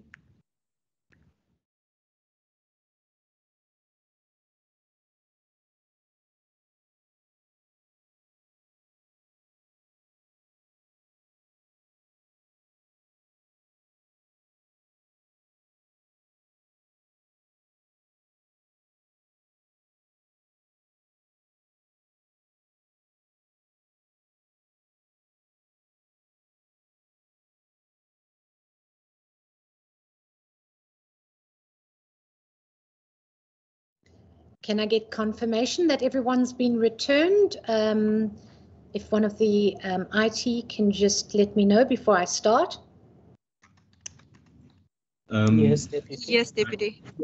Okay, thank you very much. Uh, welcome back, everybody. And thank you for the work that you've done in those breakaway sessions. Um, I'd like to introduce Honourable Lorraine Botha, who is now going to chair the report back session Honourable Botha has been a member of the Western Cape Provincial Parliament since 2014 and is doing some amazing work and I welcome her here to take the, the stage. Thank you, Honourable Botha. Thank you very much, Deputy Speaker. And I think that our thread throughout this program today has been that we as women have to become the ladders for others of us to climb and to excel and not for us to become obstacles so that we can fall. I think that is the message that I get out of today. We have to be united in the differences that we pose to each other, but also to draw strength from one another. So I think that is the theme. And then with that said, Deputy Speaker, I am sure that our breakaway groups has had a good, robust engagement on the topics that we um, have embarked upon. So there will be three groups that are um, giving us feedback. And without any further ado, Deputy Speaker, I will now call upon the first group who has discussed the gender remuneration gap and that feedback will be done by the chairperson of who hosted that group and she is Honorable Wendy Philander. Over to you, ma'am. Thank you very much, um, Honorable um, Botha. It was indeed a very robust and um, interesting um, discussion. Um, we unfortunately, due to time, um, did not have the opportunity to slot our recommendations into the three main categories, um, which was um, the extent of the gender pay gap and the impact on women, um, the main contributing factors um, to the gender pay gap, as well as how to address um, the gender pay gap, but it was addressed in the various uh, resolutions. So what uh, participants um, um, deliberated on and um, discussed um, and what was then concluded on um, by group one was the following, um, that we create um, the space and, and flexi time um, in order for women to, to be able to, to flourish within their environment um, I'm sorry, we also had an issue with um, transferring our scribe notes. Our, our, scribe was very sharp, but in transferring those notes. So what I have in front of me is rough notes that I make, but we will obviously after this um, formalize um, what we have, the both of us. So um, that was the first one. The second one was in terms of um, proposing amendments pertaining to the marriage regimes um, to the NCOP. Um, and um, thirdly, how the working mum, or rather the child care grant for working mums as um, yes that was the third one and then fourthly improve the financial um, literacy of women um, overall. The fifth one that was agreed upon and that is um, was mainly um, focused on um, in the corporate sector as to uh, what was referred to um, as a hard, hard stop.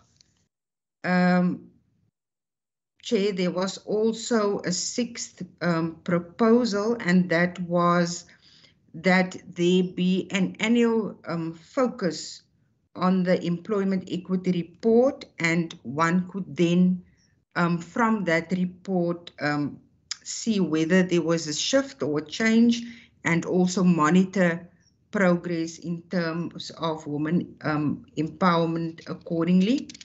And then there was also a proposal made. The seventh one was to um, include the National Department of Women, the Labour Department, as well as the Department of Trade and Industry and private sector and other bodies as to advocating and um, promoting these proposals that was put forward. Um, Chairperson, also as an eighth resolution, um, it was proposed for corp corporate to create um, the space and the facility uh, within the various working areas where it would be able to, for creches to be um, established. And the final one was then um, for just quickly see um, what exactly um, is policy saying, because the member at the time said what she gathered from the research um, documents was not too clear um, for her uh, in terms of policies that guides us um, to make sure that we monitor and would be able to evaluate um, as such as was mentioned in terms of employment equity as well.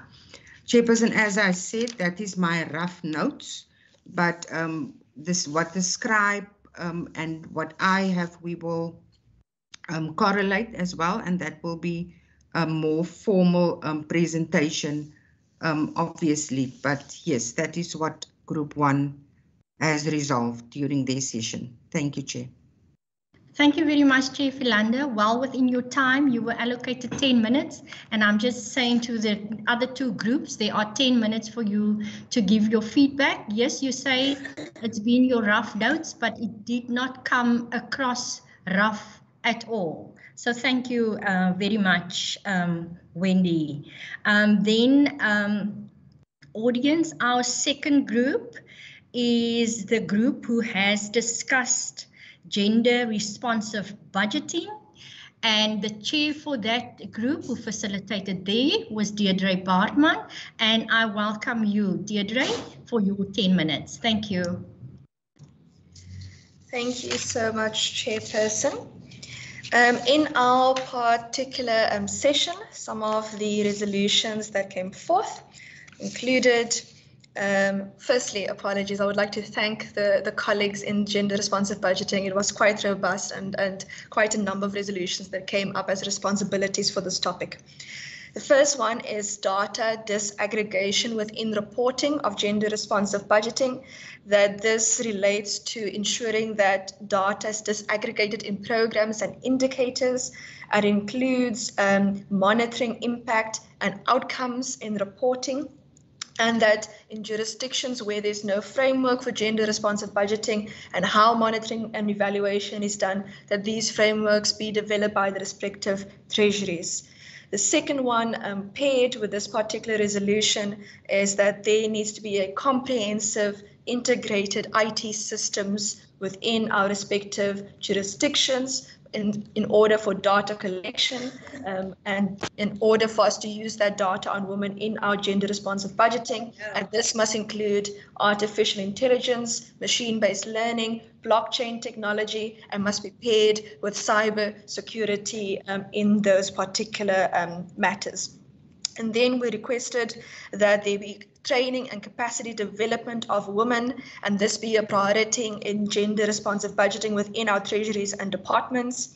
Further, that um, when it comes to incentivizing keeping girls in education, keeping women in education, keeping women in employment, that there be comprehensive tax incentives, whether this falls within general taxes, in specific taxes and or grants, that there be comprehensive taxes um, uh, incentives for this. Um, and this be uh, this relates to uh, tax institutions and respective treasuries.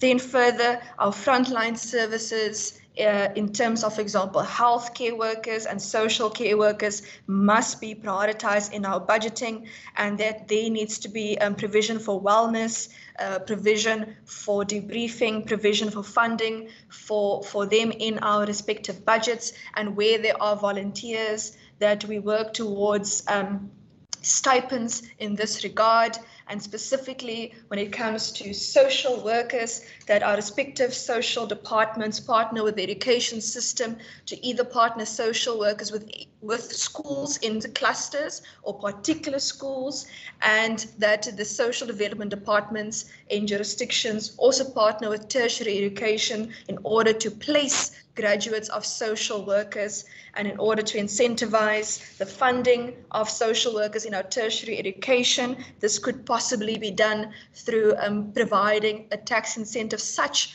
as um, a subsidy to universities in order to ensure that um, social workers uh, get uh, uh, students get funded and placed.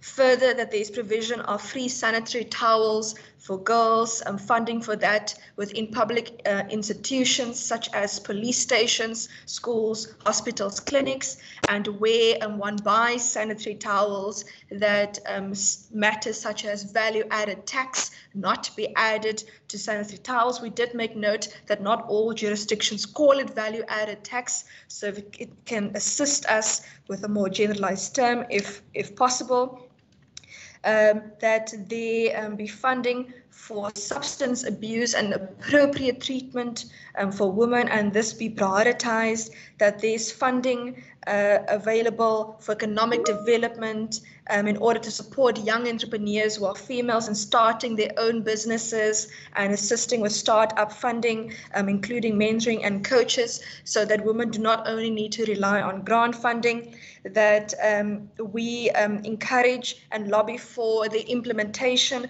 of a working moms childcare grant where women who are employed are able to receive funding to make sure that their children are on ECD. And this can go paired with the previous resolution regarding comprehensive tax systems. And this would then encourage women not only to remain in employment, but also for the children, uh, especially girl children, to remain in education. And that this particular type of incentive must be higher than the current unemployment grants and incentives so that it encourage people to find work um, that there is uh, basic income support for women as basic carers, and this also goes paired with a comprehensive tax system for women, um, that departments must partner with NGOs and NPOs and ensure that where they do not meet criteria for receiving funding related to women and implementation thereof, that the departments capacitate uh, that particular sector in order to for them to understand what the criteria is to, to, to qualify for funding, that that um, we, we thought about um, the other group, which is STEM, and we said to ourselves that STEM will not be able to implement their priorities if there's no funding for it, and we must make sure that in our gender responsive uh, budgeting that funding is put forward um, for STEM. Uh, and that in terms of the private sector, that, and this is similar to the tax incentives that must be provided, that private companies um, must be uh, indicated that if they use the United Nations uh, Sustainable Development Goals uh, to report contributions on females and empowerment of females and women that they make, that they do so to tax institutions, and that they then be incorporated in that uh, comprehensive tax and, and financial type of system so that the private sector is incentivized to employ women and for women to remain employed. I apologize, Chair, I do not know if I've missed any of the particular um, resolutions, but um, if there are any, I encourage my colleagues to, to assist me in, in, in any corrections in this regard. Thank you. Thank you very much, Member uh, Baartman. Our and you were also well within your allocated time so thank you for managing that and then our third and final group who will um, report back is the group that discussed enrollment of women in STEM and STEM is science, technology, engineering and mathematics. Uh, programs and that uh, feedback will be done by the chairperson Ntombezanele Gladys Bakubaku-Vos. Um, member Bakubaku-Vos, thank you.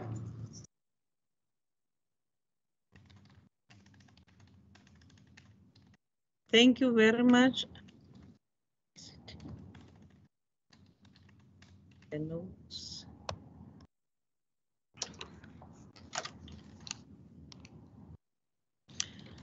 Yeah, our recommendations, Chair, is as follows.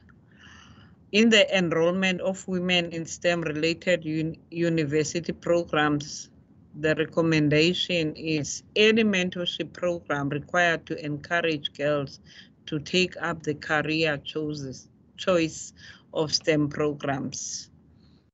Eh, women graduates and women who have taken up this career of choice to be part of this mentorship program and the organizations such as Technovation present to girls in secondary school on STEM and WCPP researchers should search for other organizations who offer similar.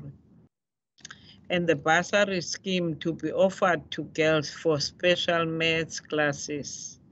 Learners encouraged at grade 8 and 9 level already to consider STEM as career more research on barriers that prevent girls from entering STEM faculties and how matric results are presented should be reconsidered. Addressing reasons that, that girls consider maths literacy that, rather than pure maths. Drive government policies to accept STEM as a career and reduce fees for women who consider STEM as a career. That will be our recommendations, Church. Thank you very much. Thank you um, very much. Um, Member Baku Force, can you please switch off your uh, video camera now? Thank you. Um, Deputy Speaker and audience, that takes care of the recommendations that came out of all three groups, all three breakaway groups. And um, Deputy Speaker, if you would allow me, um, I want to ask that um, these um, recommendations that came out of this that it is taken further into a discussion in, in, in the next CWP session so that we can flesh out all the recommendations and so that we could put timelines to these recommendations, but also that we can uh, put together a clear contract of how we action these recommendations um, so that we don't get together next year, God willing, and we have similar discussions and we have not had action steps. And I think that you would allow me that liberty to say that in this um, forum. So I want to thank everybody, especially the chairs who facilitated the sessions, but also our staff who was brilliant in supporting us in the breakaway sessions. And thank you for giving me the opportunity of giving the um, uh, of facilitating the feedback of that session. So thank you. Thank you very much, Honourable Botha. Thank you for, for doing that. Um, it is always such an important part to be able to bring together um, these three very, very important challenges uh, that women find themselves right across the planet. And, uh, it, you know, I really do want to, uh, to, to thank you for, for coordinating that. Finally, um, honourable members, to everybody, our guests, our international guests, a really, really big thank you to each one of you, to our guest speakers here today, and to our members who did the votes of thanks, who contributed to the success of this online virtual platform. I believe that as a sub branch of the Commonwealth Women Parliamentarians, we certainly could partner with more of our branches across the continent to support and hold the space for the empowerment of women. And, and so I'd, I'd like to take up what Honorable Gimba has, has offered to us and look at this um, during the course of 2022. Because I strongly believe that united we stand, divided we fall. And uh, we often forget that we feel safe when we are supported. So that would certainly be one of the um, opportunities that I would like to drive uh, for us uh, to participate in next year. To the chairs of the breakaway session and for you, Honourable Botha, thank you for the work and just getting to the crux of the issues, being able to sift through the conversation. I look forward to that final report that we can actually use and take to the people and to our stakeholders across in the Western Cape. But very, very important, and Honourable Botha touched on this, was this event could not have taken place without the many people behind the scenes that had to meticulously rehearse each and every step. And, you know, I came in and out of these weekly meetings that we had. This was a stretch goal. It was never done before. And I'd really like to thank each and every IT staff member under the management of Mr. Skricker that led this virtual platform in such a seamless way. I know that they had to look for the technology and they had to test the technology because I wanted them to ensure that each breakaway session could be live streamed at the same time. So thank you very much for stepping up to the plate. Uh, we constantly um, are improving and achieving our goals and becoming that, that virtual parliament that makes it possible for us to communicate across borders no matter where we are.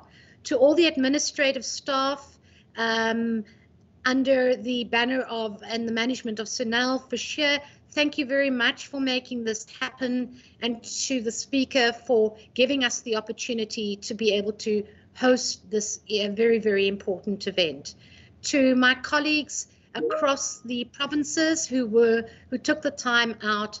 Thank you very much. Um, we really appreciate your participation in events like this, and we would very much like to work closer with you in future virtual events. Honourable members, guests, ladies and gentlemen, to the Premier popped into our ministers, once again, a very big thank you I look forward to next week's debate and look forward to taking these resolutions, as I say, into the Western Cape. Um, thank you very much for your Friday. May you have a wonderful weekend. Be safe, wear a mask, and this meeting is now adjourned. Thank you. Thank you, Chair.